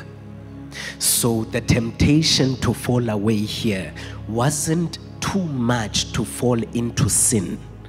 It was actually to fall back into Judaism, where they were delivered from and into. So you'll notice that when you start in the book of Hebrews, there's a lot of comparison to where they came from. because they thought that was better than Christ. Linkira Nevas. eh, Is it making sense? So, so you open up chapter 1 and there's a comparison to Christ and angels. You come into chapter 2, uh, there's a comparison between Christ and the rest that Joshua gave them. That Christ is actually better than Canaan. If not so, there wouldn't be another day that was prophesied of rest. You come into chapter 3, he is greater than Moses, the very same person that you are trying to go back to. He is greater than Aaron and the order of priesthood. Coming into chapter 4 and chapter 5, he is greater than the greatest covenants that you know. Linkira Nevas, is it making sense? You know, see, he is greater than everything that you want to fall back into. So, your temptation to fall away, which is actually to fall back into Judaism, is you falling into an inferior reality to the one that Christ has achieved. So the writer of Hebrews is trying to reconfigure their minds that let's go back in argument's sake and see where you want to go. And when we compare every reality that you want to delve back into, nothing compares with where you are now. Can I take a slight detour? If we were to convert that circumstance to where we are now, it is what is going on with this whole African spirituality thing because it seems like this Christ that we have chosen is not working. Now let's go back to Abogogo, Abomkulu, the way of the ancients, which is actually no way at all. My God, geo- geographical locations do not have a religion. What I mean to say by that is you cannot call it African spirituality. Africa is the land, ironically, that God created. So already the, the, the, the debate is flawed there. Who came up with that way that our ancestors are said to have worshipped? Why are you so confident in where you are going whereas your grand your forefathers in the days of their living didn't know Aliba, Aliba, Mara, we're so confident because we, we have this fidelity and search for identity. My God, and we, we don't have the diligence to trace it back to God. So, so we want to find comfort in Abogogo, Abomkulu. I know I'm getting in trouble for this, but it's for your own edification. Where you are going to is inferior to where we are now. Now let's deal with the complexities. Uh, we, we are living in circumstances, there are a lot of challenges, there are a lot of things. It seems like this Christ that we have chosen is not enough which is the same thing that the writer of Hebrews is dealing with. Now, let's get into some Bible study. Say Bible study. It's important that you study your word. So, I don't think I'll have the time to touch on everything. Ne? There's what we call apostasy. Apostasy means a falling away, a backsliding. And scripture gives us four main things that uh, uh, uh, uh, uh, leads to apostasy. Uh, number one, I'll get into more detail. Let's start with number two. Number two is deceitful and seductive spirits and the doctrines of demons. So you will notice that some of these people that are going into their tangents had a visitation. If you want to do your study, this is uh, Timothy chapter four. Ne? I don't have the time to uh, do it justice. Number three on the list is uh, being misled by hypocritical liars. This is basically the messages that come from people whose consciences have been seared as with a hot iron. They have a form of godliness. They seem to worship Christ, but in actual fact, they worship their stomach. They worship their appetite. They are not interested in reconciling their lifestyle with that which God has intended. So they stand on uh, platforms to discourage you who have a genuine faith in God to say, Where you are going, I have been, and it doesn't work. Be careful of those. The- if you read the whole account of the book of Timothy, Paul speaks about not entertaining certain uh, debates and discussions because the people you are engaging with have no appetite for truth. They, they are actually after controversies. So even if you are to win a debate with them, they are not going to adopt that truth as the truth. I would mention names, but I want to be politically correct. The- that public figure that you are afraid of with, with African spirituality and whatnot has been defeated in more than three counts of debates by another man of God in our own nation. And the same person keeps on going to other platforms to believers that don't know too much, bringing up the same pieces of knowledge that he was uh, defeated within an open debate because he's not after truth.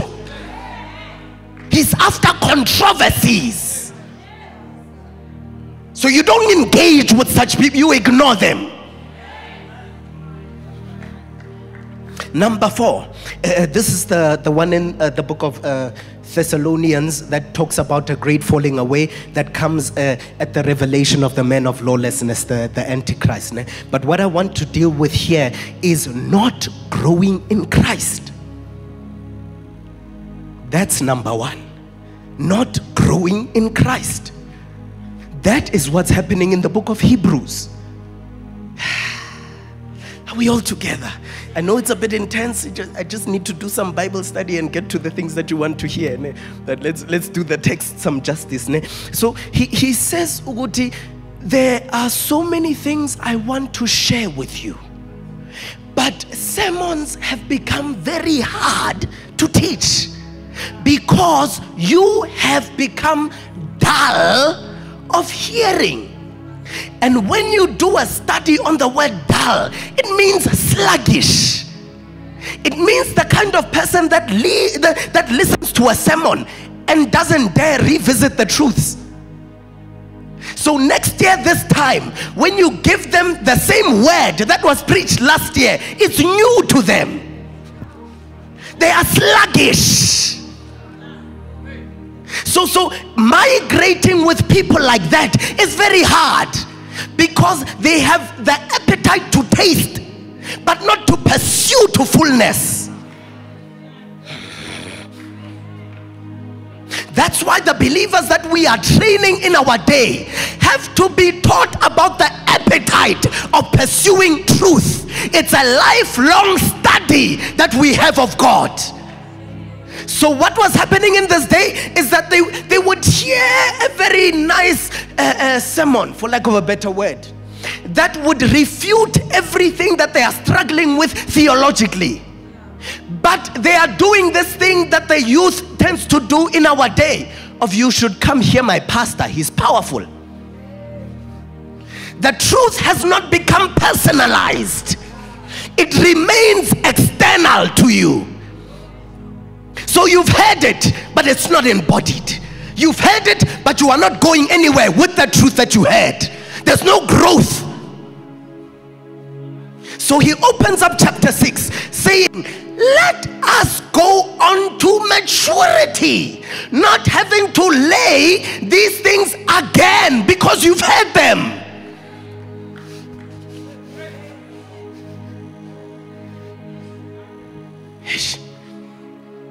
So, so he says, You have come to need milk. Say, need milk. Not want milk. Need milk. Meaning, you have a deficiency.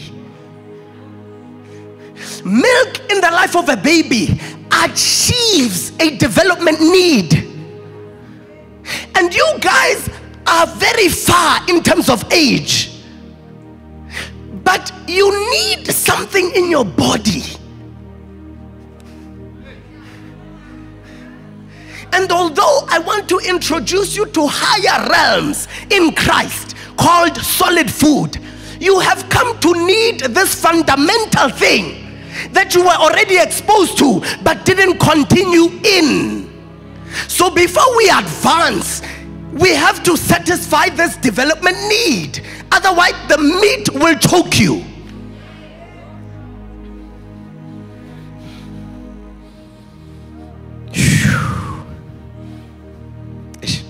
I wouldn't I won't have the time to touch on this, but he says uh, uh, uh, everyone that is still on milk is unskilled regarding the word of righteousness. And that's where God wants us. I, I pray that God would permit us to at least touch that reality. Ne? Ah, I need to speed up because time. Ne? Then he talks about strong meat being for the full of age, the mature, who by reason of use. So now he, he's introducing a very interesting concept that, that the mature have an exercise that they are doing. They, they, they are not touching the sermons and leaving them. They, they, they are exercising habitual use of the truths they are engaging in. They don't stop. Eh, Can I make an example? Have, have you uh, noticed that uh, when you come into fasting, fasting and praying and all of that, uh, uh, you, you, let's say you go for a week, that your, your body starts adjusting to the new continual pattern. And when you break that fast, it is not wise. If you've never heard this, please don't do it. Don't start with meat because your body has acclimatized to not eating. So, to reconfigure the body, you start it easy. Take your liquids, take your soup, take your vegetables. Then your body becomes re acclimatized and capacitated to take in more. Not necessarily because you ate once, but because you are continuing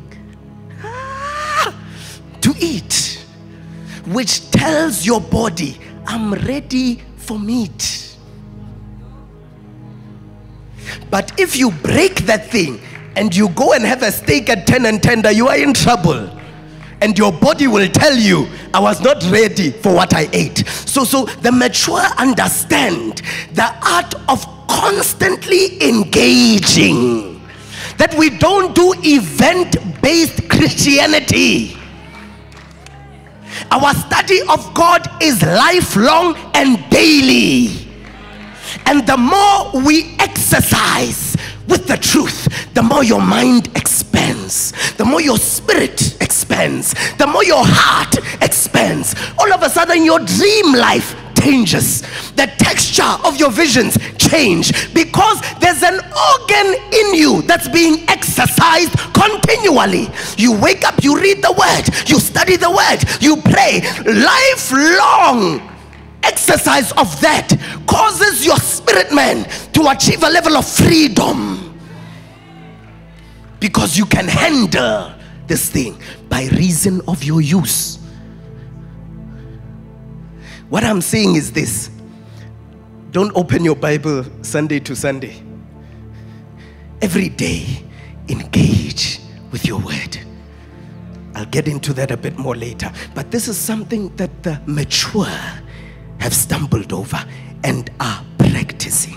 And as they practice this, they notice that they are discerning, their judgment. This is uh, not the gift of discerning of spirits. ne? This is the faculty of judging, of discerning, of affirming what is true and what is not. This is uh, the, the expansion of your mental faculty into a spiritual realm of understanding. I know I said a lot. Does it make sense? All right, let, let's move on. Yeah, they have their senses exercised. Uh, yeah, I touched on that. So,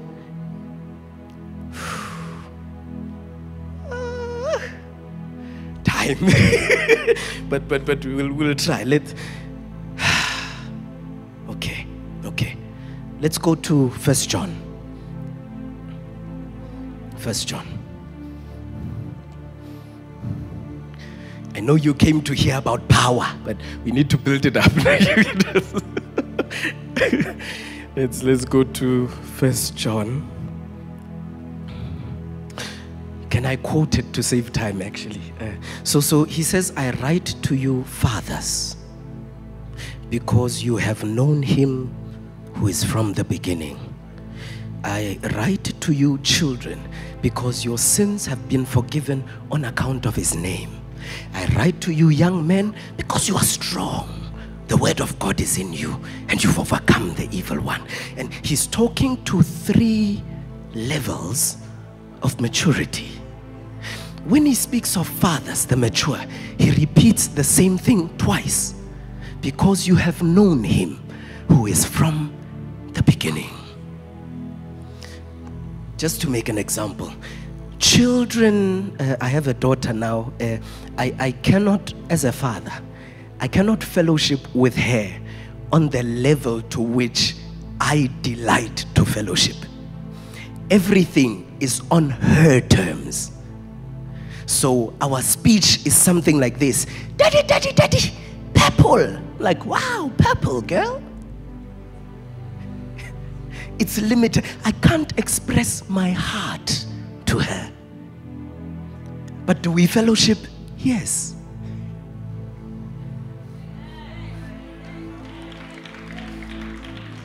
To young men, the fellowship graduates. They start being acquainted with responsibility. So these are the type of people that, uh, for instance, uh, let's say my daughter grows up and she's now 12 and uh, uh, we are speaking as a family. And i'm like you know what? Uh, i have to rush to see uh, pastor katliso tomorrow. And when i get up in the morning i find that she has finished cleaning my car. She, she's become acquainted with the responsibility that pleases and makes life for the father easy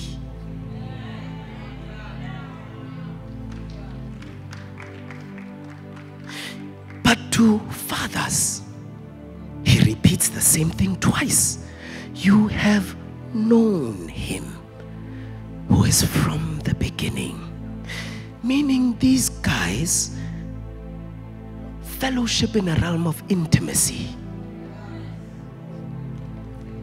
It's about heart expression and heart connection where I don't have to change my language to accommodate your age.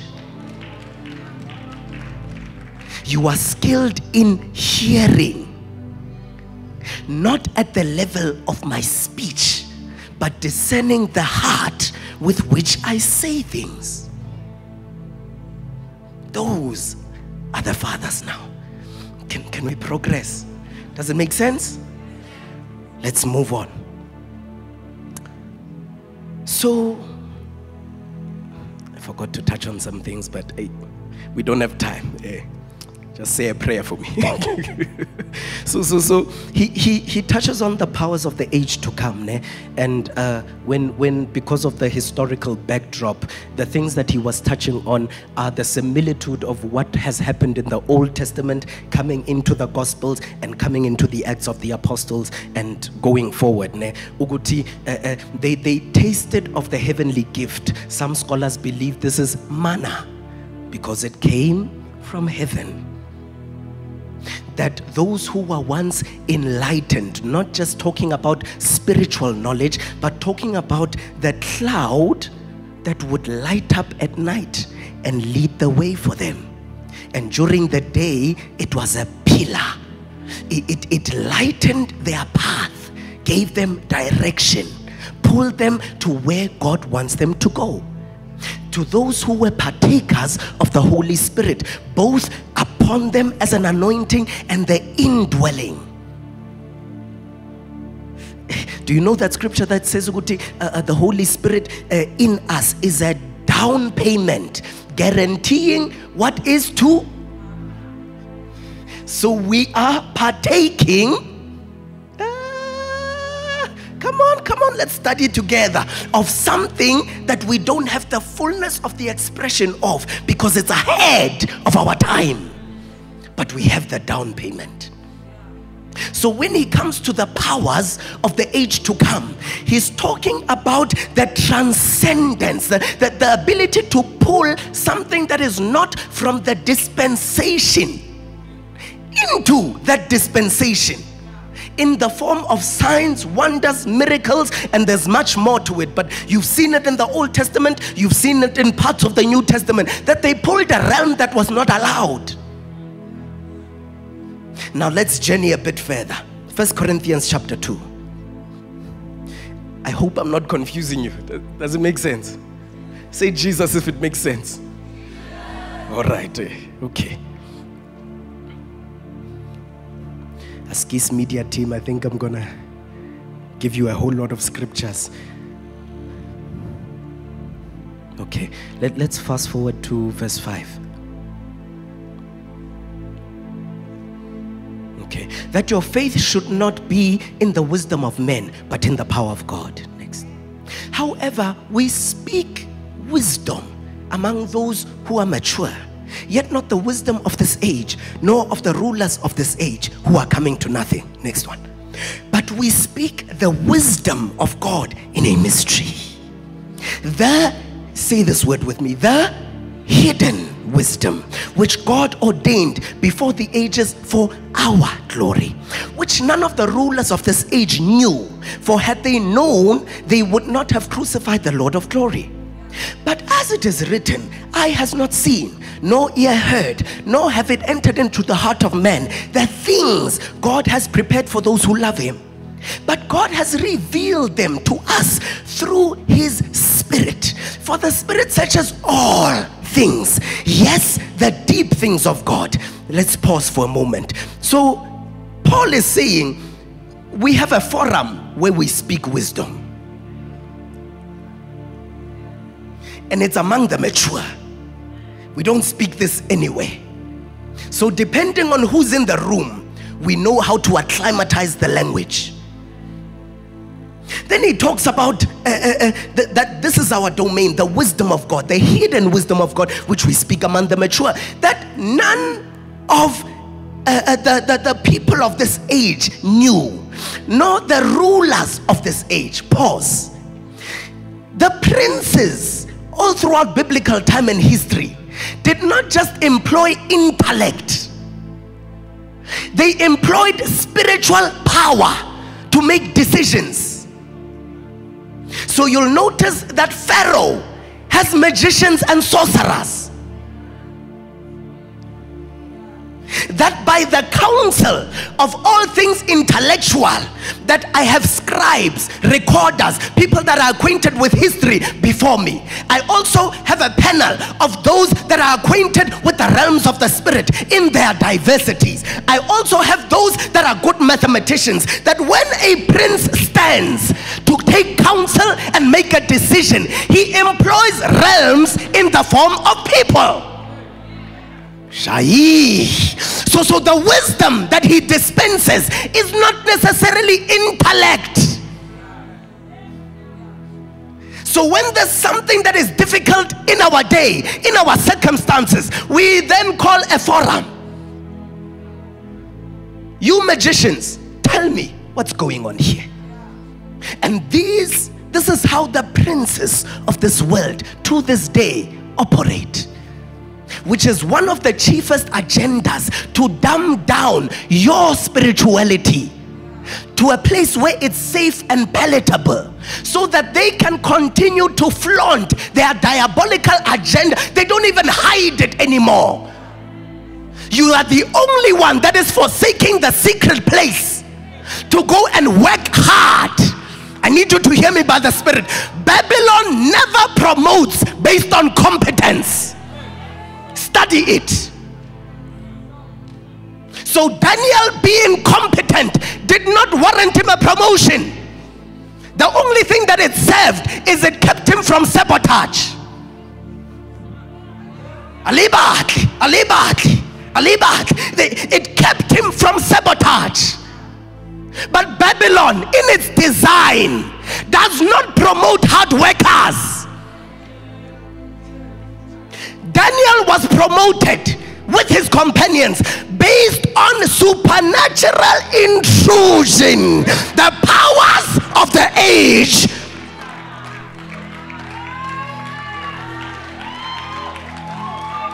So tell me this dream.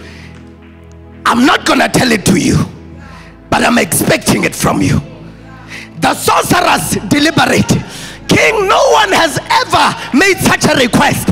Daniel says, I know where secrets are found. Give me time. That's the pattern. We'll get into it later. Can we do a bit more study? So, so Daniel and his companions, were, they weren't even promoted because uh, uh, it's a nice thing that Babylon wanted to do. They, Babylon was forced to do it because they don't know that level of power.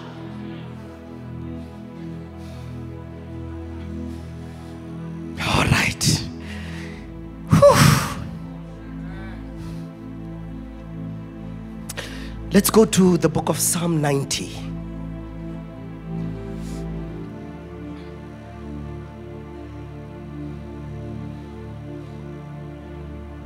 verse 1 and 2.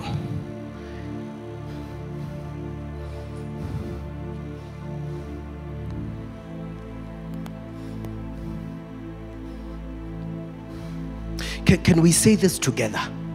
One, two, three, go. Lord, you have been our dwelling place in all. Wow! That word generations is ages. Come on, you came for powers of the age to come. Can, can we look, can, can we trace through scripture what the Bible is talking about? Let's go to verse 2.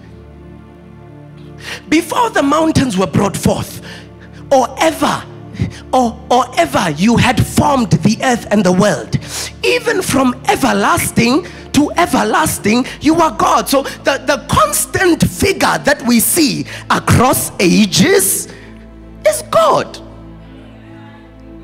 And this is from one end of everlasting to the other end of everlasting. So if we want to pull from something that is to come, which is an age, we don't inquire of the age. We inquire in where the age resides, which is God. He's called the Ancient of Days. Can we go forward? Let's go to John 3, verse 15. If you've been to Sunday school, you know this. So now we want to practicalize this thing. We're talking about the powers of the age to come. We want to know what these things are. What has the Lord given us? That whoever believes in him should not perish, but have, say it. Okay. Wow. What is eternal life? I'm glad you asked. Let's go to 16. For God so loved the world that he gave his only begotten Son, that whoever believes in him should not perish, but have everlasting life everlasting and eternal in this context is the same word. Ne? Aionios Zoe. Aionios speaking agelessness, perpetuity. Zoe meaning the life of God, divine life, the life that is in Christ imparted in man. That life that Jesus gave you is not time bound it is the fullness of who God is across the ages being dispensed in man. Let's go further. First John chapter 1. I hope this is not complex. Ne? It's, it makes sense. Say Jesus if you understand. Thank you. Thank you. First John chapter 1. That which was from the beginning which we have heard, which we have seen with our eyes, which we have looked upon, and our hands have handled concerning the word of life. The life was manifested, and we have seen and bear witness and declare to you that eternal life which was with the Father and was manifested to us. Wow. Next verse.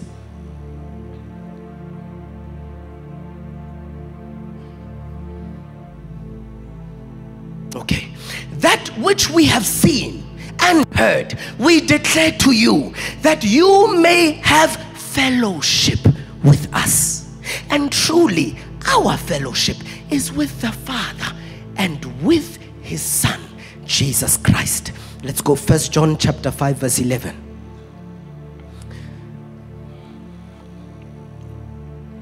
And this is the testimony that God has given us eternal life. And this life is in His Son. Wow. So, what we are looking for is in Jesus. Now we have to study dynamics of excess.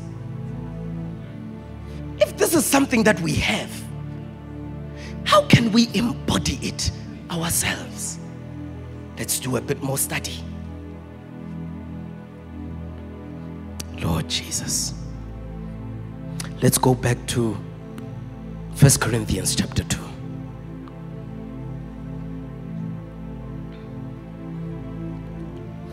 Might not have the time to deal with everything, but I pray that you hear my heart.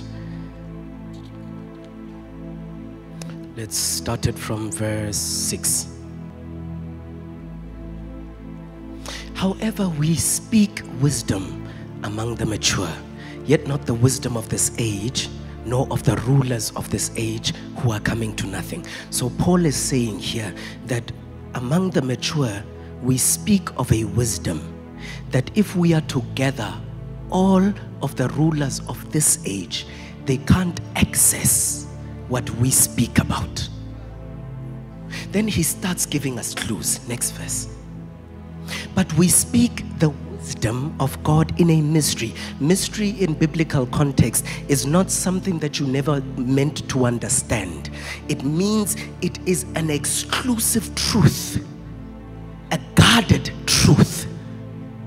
It means mysterion. You have to belong to a particular class to understand the language of that class.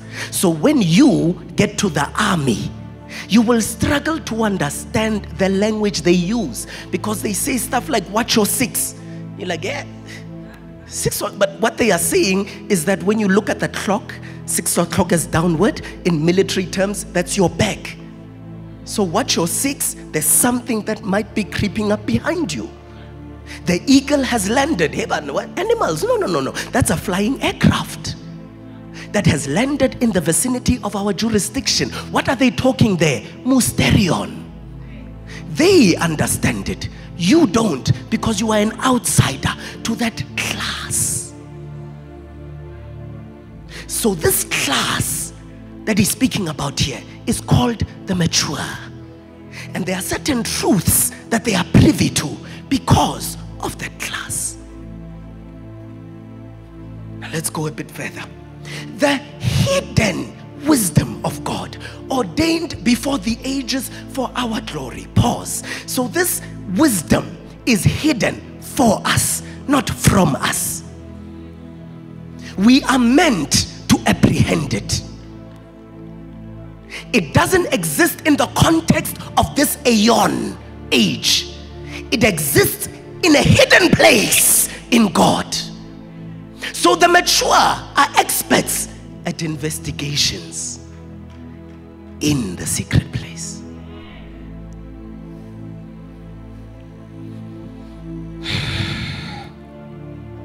Which none of the rulers of this age knew. Had they known, they would not have uh, uh, crucified the Lord of glory. Next verse. But as it is written, eye has not seen, nor has the ear heard, nor has it entered into the heart of man the things God has prepared for those who love him. This scripture is derived from Isaiah 64. It says, No eye has seen, no ear has heard, nor has it entered into the heart of man. What the Lord has prepared for those who wait for Him. these are where the mysteries lie. That the mature are experts at waiting on God. Not in a hurry. They know how to touch God in places. They know how to sit with God. They know how to commune with God. They know how to pull realities and far surpass those that were running.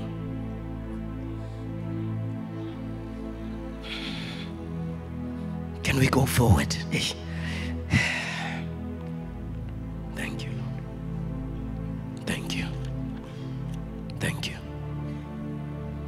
John 17, verse 2 and 3. Now we know that God has given us eternal life. We have to get into definitions now. What is this thing that He has given us?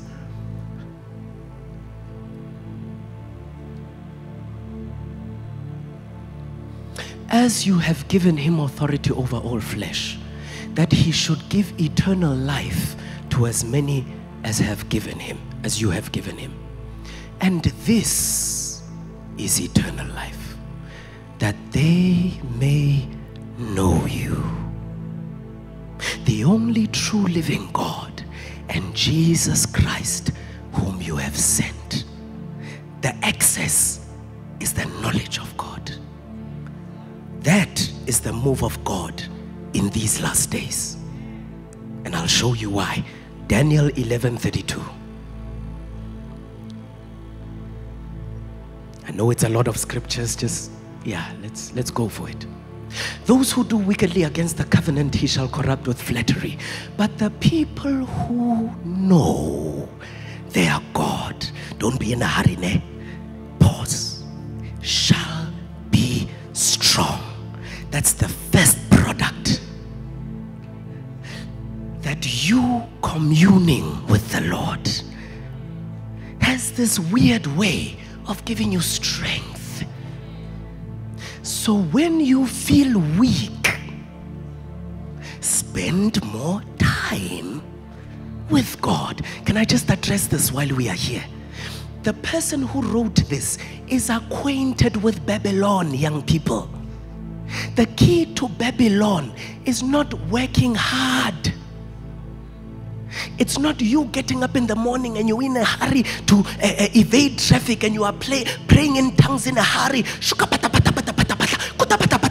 Hey, when I'm a that's not the pattern. The, the person that arguably had the busiest schedule is giving you the secret to Babylon. That you don't just wake up and go, you wake up and sit. Father, what is on your heart today? Sesola talima inkempele sheshede pelema. You don't do this scrolling your news feed. You don't do this scrolling your WhatsApp. There's etiquette to the secret place. Contrary to popular belief, God knows when He doesn't have your full attention. And He will not discharge sacred things to someone that doesn't have the decency to give Him full attention.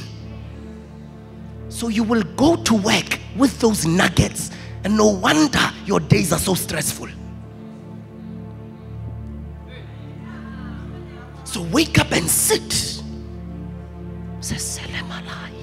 Ikolomai. If you are sharing spaces, you don't have to be loud. You don't have to flaunt your spirituality. You are pulling wisdom from a realm. You are pulling intellect from a realm. You are pulling future events from a realm. The mature understood that Christ would die. Have the time to get into that. The, the future is not an unknown thing to believers. He says in the same book, chapter 3, that all things are yours things present, things to come. Wow! So your days are not supposed to hit you by surprise. But there's a way to get there. You sit with him. They shall be strong and do exploits, try exploits. Not wake up in the morning and say, I'm going to do an exploit. No, the exploits are a result. Ah! There is something that sitting with God does to you, which results in strength and results in the exploits. So you don't wake up in the morning saying, Shaka bata bata bata, I'm prepared for exploits. Gone. No! Wrong pattern. You sit. Can we go further? I'm gonna try to close. Let's let's fast forward to verse 12, uh, 1 Corinthians 2.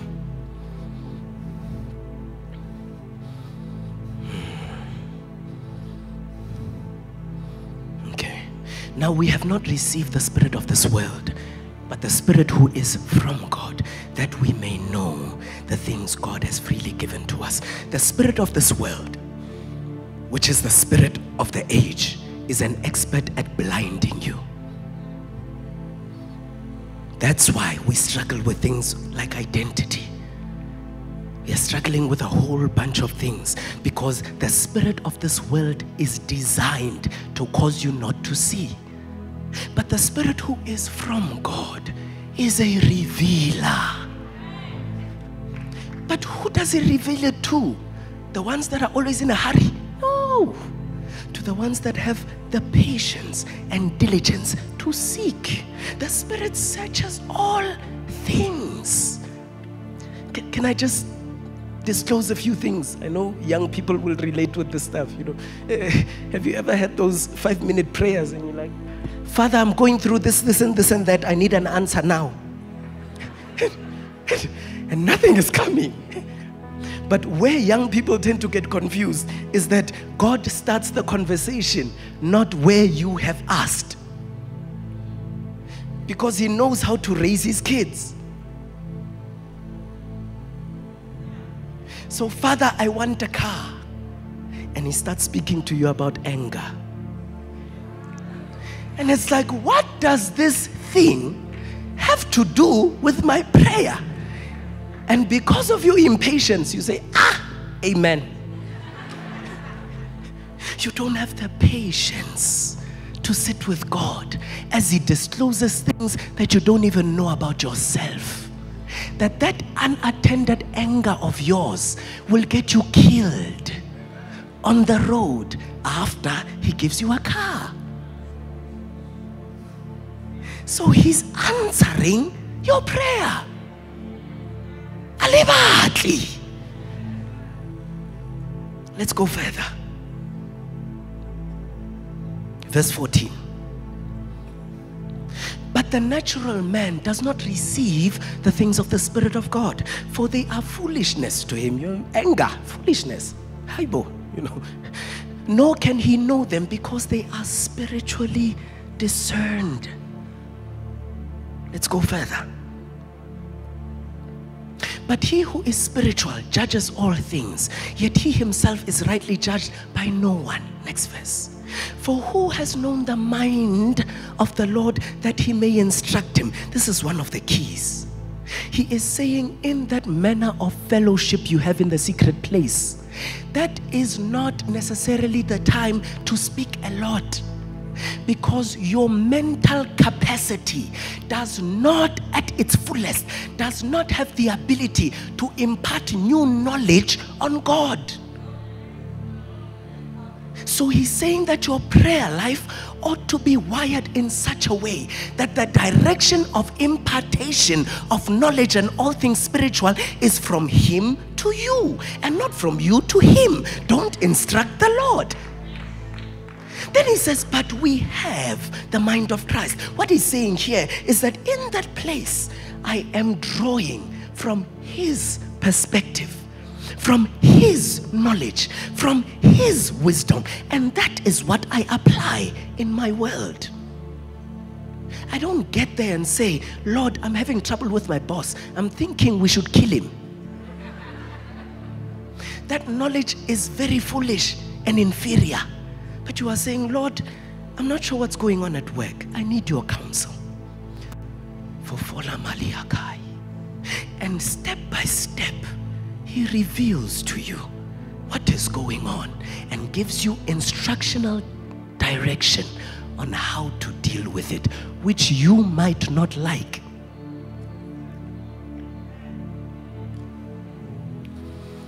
Can we wrap it up? So we know that God has given us eternal life. That life is in His Son. He has said that the definition of eternal life is that they may know you. But how do we know the Lord? Through fellowship. Fellowship, in its casual definition, is conversation that is transformative. He who walks with the wise. Ah. So, so, so the more time you spend with the Lord, engaging His word, engaging prayers, waiting on Him, something starts happening to you. Philippians chapter 3. And we pray in the Spirit while we are going there.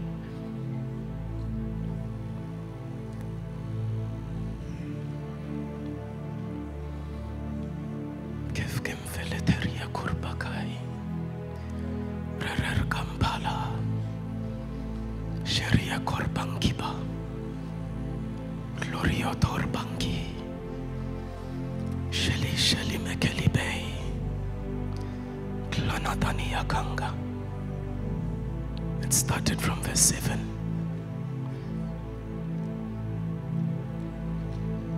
This is Paul speaking. But what things were gain to me, these I have counted a loss for Christ. Yet indeed I also count all things loss for the excellence of the knowledge of Christ Jesus, my Lord, for whom I have suffered the loss of all things and count them as rubbish that I may gain Christ. There's a mystery that Paul stumbled upon. That there's this tendency of the deeper I go in God, the more tribulation rises in the natural. And because he knows what he's getting, he doesn't encourage himself. He encourages the people that are seeing his mgowo. That do not be ashamed of my tribulation, which is your glory.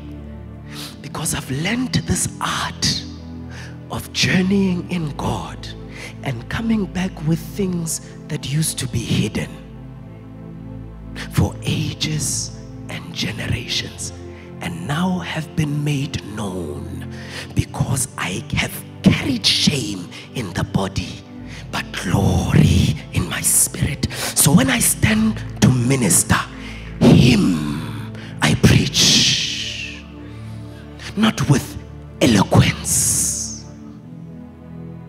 I've touched Him and I can dispense Him. This is what is needed for our day.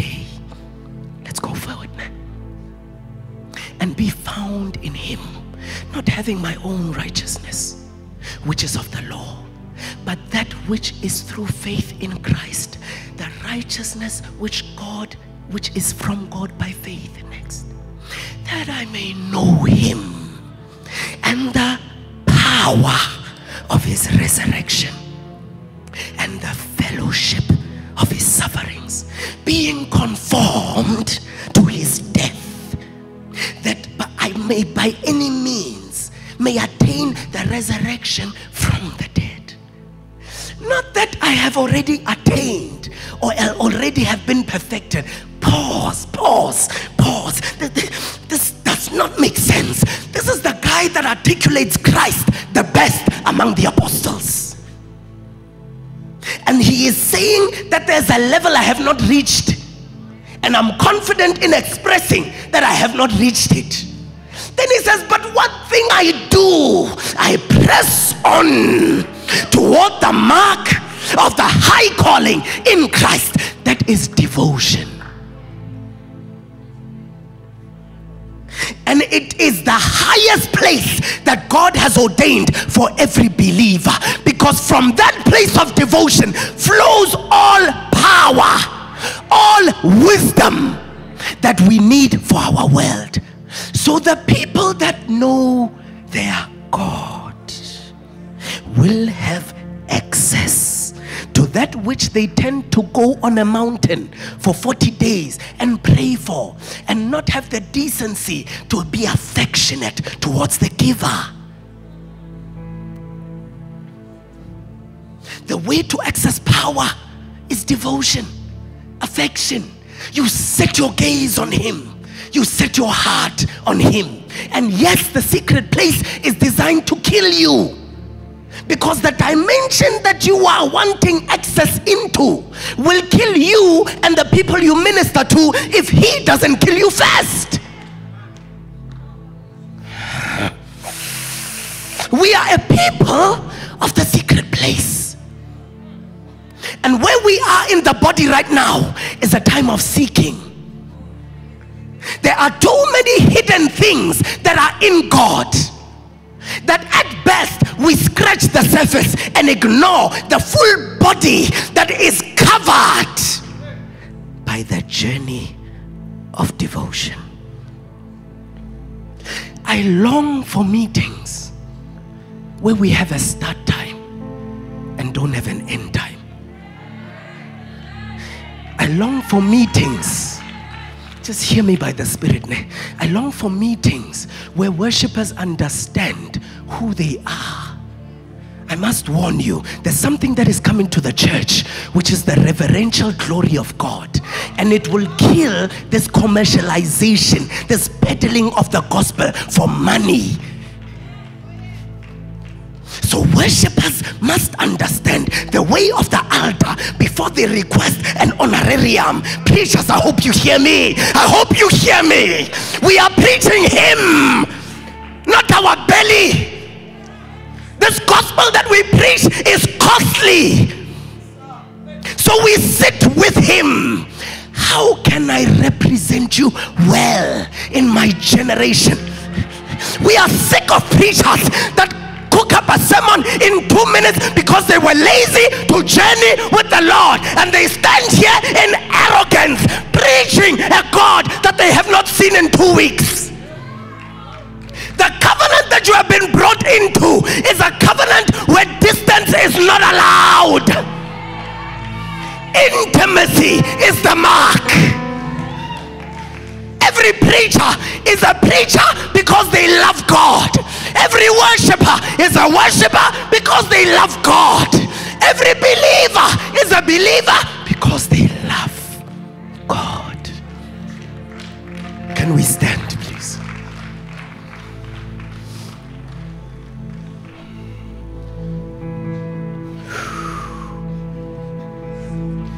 So, we're going to do a practical exercise just quickly.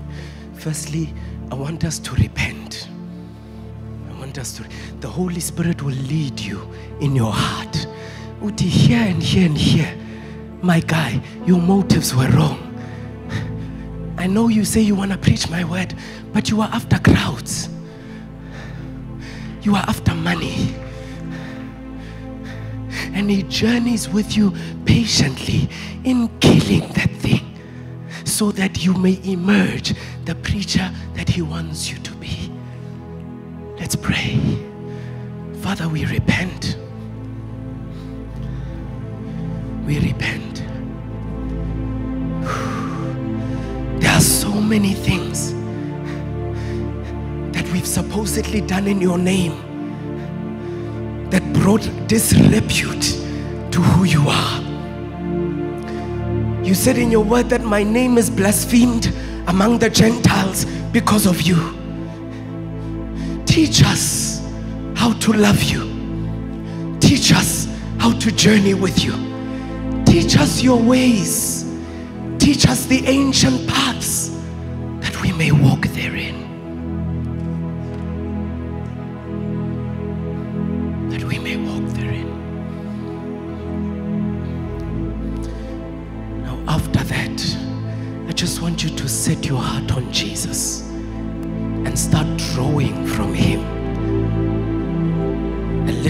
Exercise. Father, teach me what you want to teach me in this moment. And just pray in the Spirit.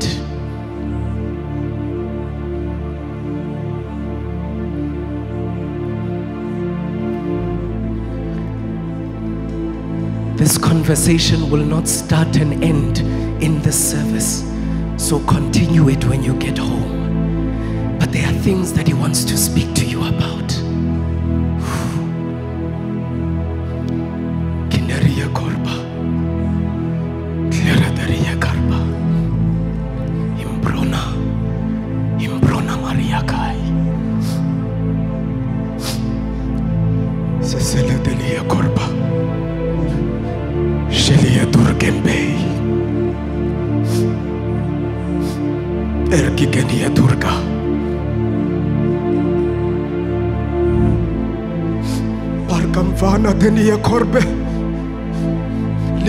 Kurbai. Ishola daria kerbenskembe daria ku.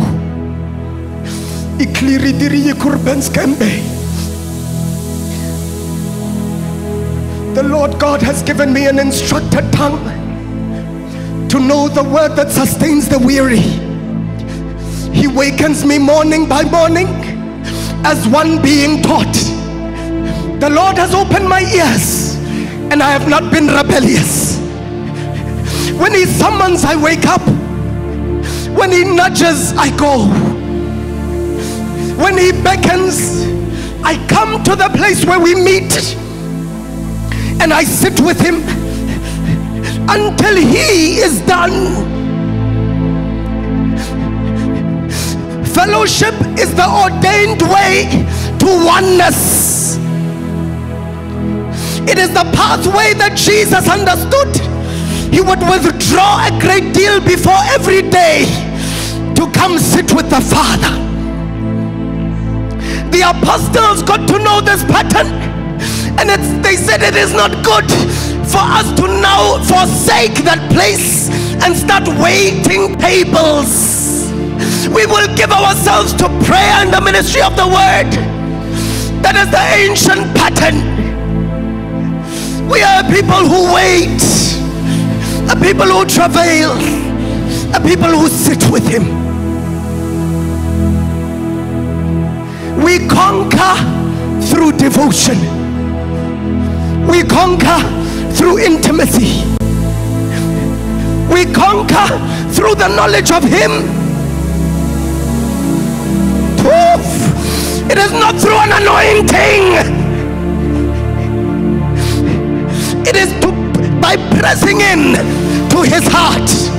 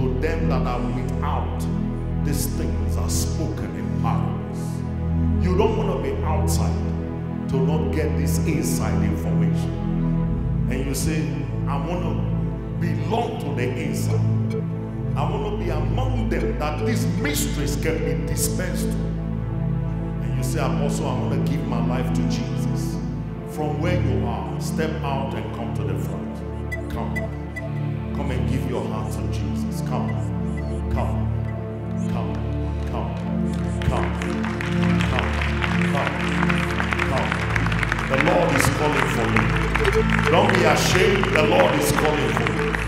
Come, come, come, come, come. Come, come from wherever you are.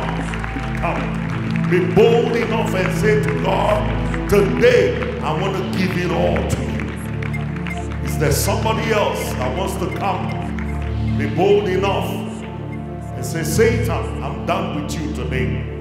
Today I give you my life. I totally surrender my life to you. I am done pretending.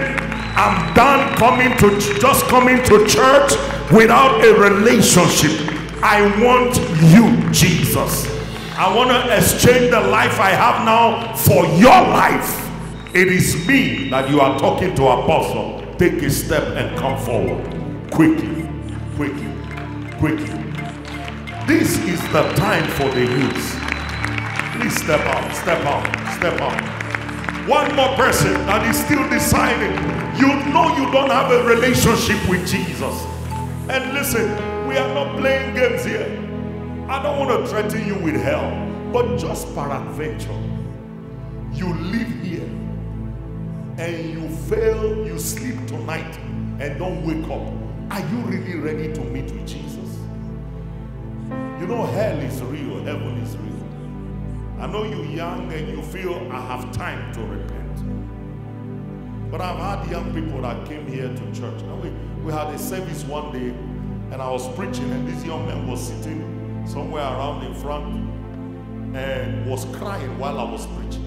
His eyes were like bloodshot because he was weeping. Nobody knew what he was weeping for. But I made an altar call and he came out and gave his life to Jesus. Keep coming, keep coming. Keep coming. Don't pretend. Please come.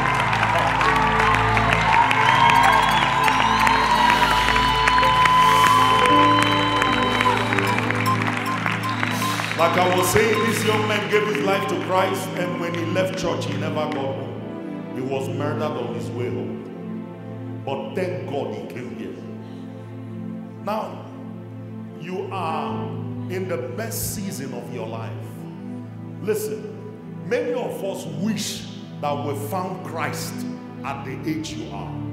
If we did, we should have been greater than where we are today. Somebody is still here and you feel, you know, I'm still too big for Jesus. How can I come out here? How, I mean, how can they hold me? Uh-uh, there is no hold you. Life without Jesus is useless. I just need that one person that needs to make up your mind. Close your eyes, everyone, please. You are that person I'm talking to. Step out now. Step out. I need you here. I need you here quickly. Step out. Say, Lord, I give you my life. Take a bold step. Take a bold step. Say, Jesus, you brought me here for this reason. Many of the things that were said today, in most cases, would have bypassed you because you didn't even understand what they were talking about. Because your spirit was not ready for this kind of message you say no, I make up my mind that I'm going to make him the Lord of my life. Well, if you are not coming, all of you that are here, I want you to close your eyes and pray this prayer with me, meaning with all your heart. Say, Lord Jesus, say it like you are serious. Say, Lord Jesus, I believe with all my heart that you are the Son of God. You died for me, and on the third day, you rose from the dead. I now receive you into my heart as my Lord and my Savior. Take my life and do something with it. Now I declare that Jesus is the Lord of my life. Forgive me all of my sins and my past. Wash them away with your precious blood. And I thank you, Lord, for saving me today. In Jesus' name, amen. That's it. Uh, let's, let's pray for them. Father, in the name of Jesus, we just want to thank you for this precious young people who have today come out to give their life to you in exchange for your life. Father, upon their confession in our Lord Jesus and in the resurrection, the scripture says, Whosoever sins will remit is remitted. We therefore, as a church, declare their sins forgiven. Wash their sins away as far as the east is from the west. And we pray for grace for the newness of life. That Father, from this day going forward, They will serve you and they will follow you all the days of their life. Satan, I speak to you with authority and I command you take every luggage you brought into these lives and get out now in the name of Jesus. I speak the blessing of Abraham into your spirit, man. And from today, receive grace to serve God acceptably in Jesus' name. Amen. That's it. That's it. Quickly, we want you to go to our sister right there. We want to take your name and your phone number so we can be in touch with you to help you maintain this decision you have made today. All right? Please just go with them for two minutes. All right, church. Can we put our hands together for the Lord? Come on, come on, come on, come on. Put your hands together for the Lord. Glory to God. We are about to close, church. Listen, the message is all the same. Go back to the secret place. Go back to seeking God. This generation, unlike our generation, we didn't have the technology you have today. We didn't have all the distractions. We knew to stay in God's presence. And you need to intentionally get rid of every distraction. To say, Lord, this one thing I must do is that I will keep pressing towards seeking you. And I'll leave all these other things behind. Because, church, listen, if you don't take this baton from the fathers, a day will come you will be alive. When you tell somebody, let's go to church, they say, go to hell. I don't want anything with church. God forbid. But you will receive this fire and pass it on to the next generation. Can I hear an amen, somebody? Let's go back to seeking Him. Let's go back to the secret place. Every young person here must know the Lord for themselves. You must know Him. Know Him for yourself. So that when you stand and speak, you are speaking from depth of who you know. That when you say to a demon, hey, stop there, they will have to stop because of your knowledge. Remember, he said, Paul, I know. Jesus, I know. Paul, I know. Who are you? That your name must be enlisted in that list. So that when they mention your name, demons know who, who it is.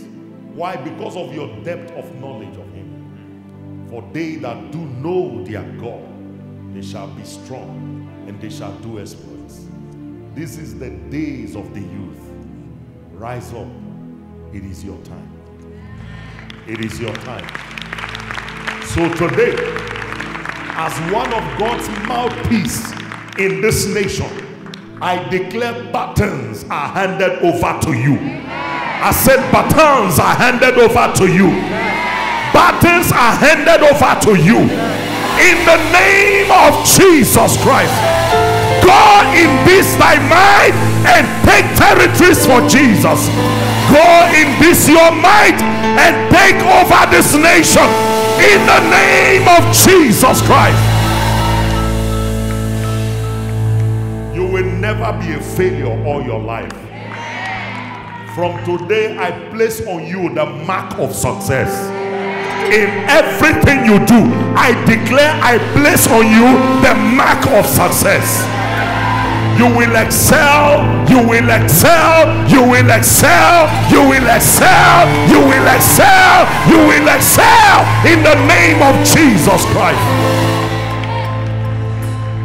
Father, I hand over this youths to you. These are young people you are preparing for the days ahead. Holy Spirit, take a hold of them. Just like Gideon set the foxes on fire and they burned the whole farms of the Philistines. Lord, today I set every one of them on fire.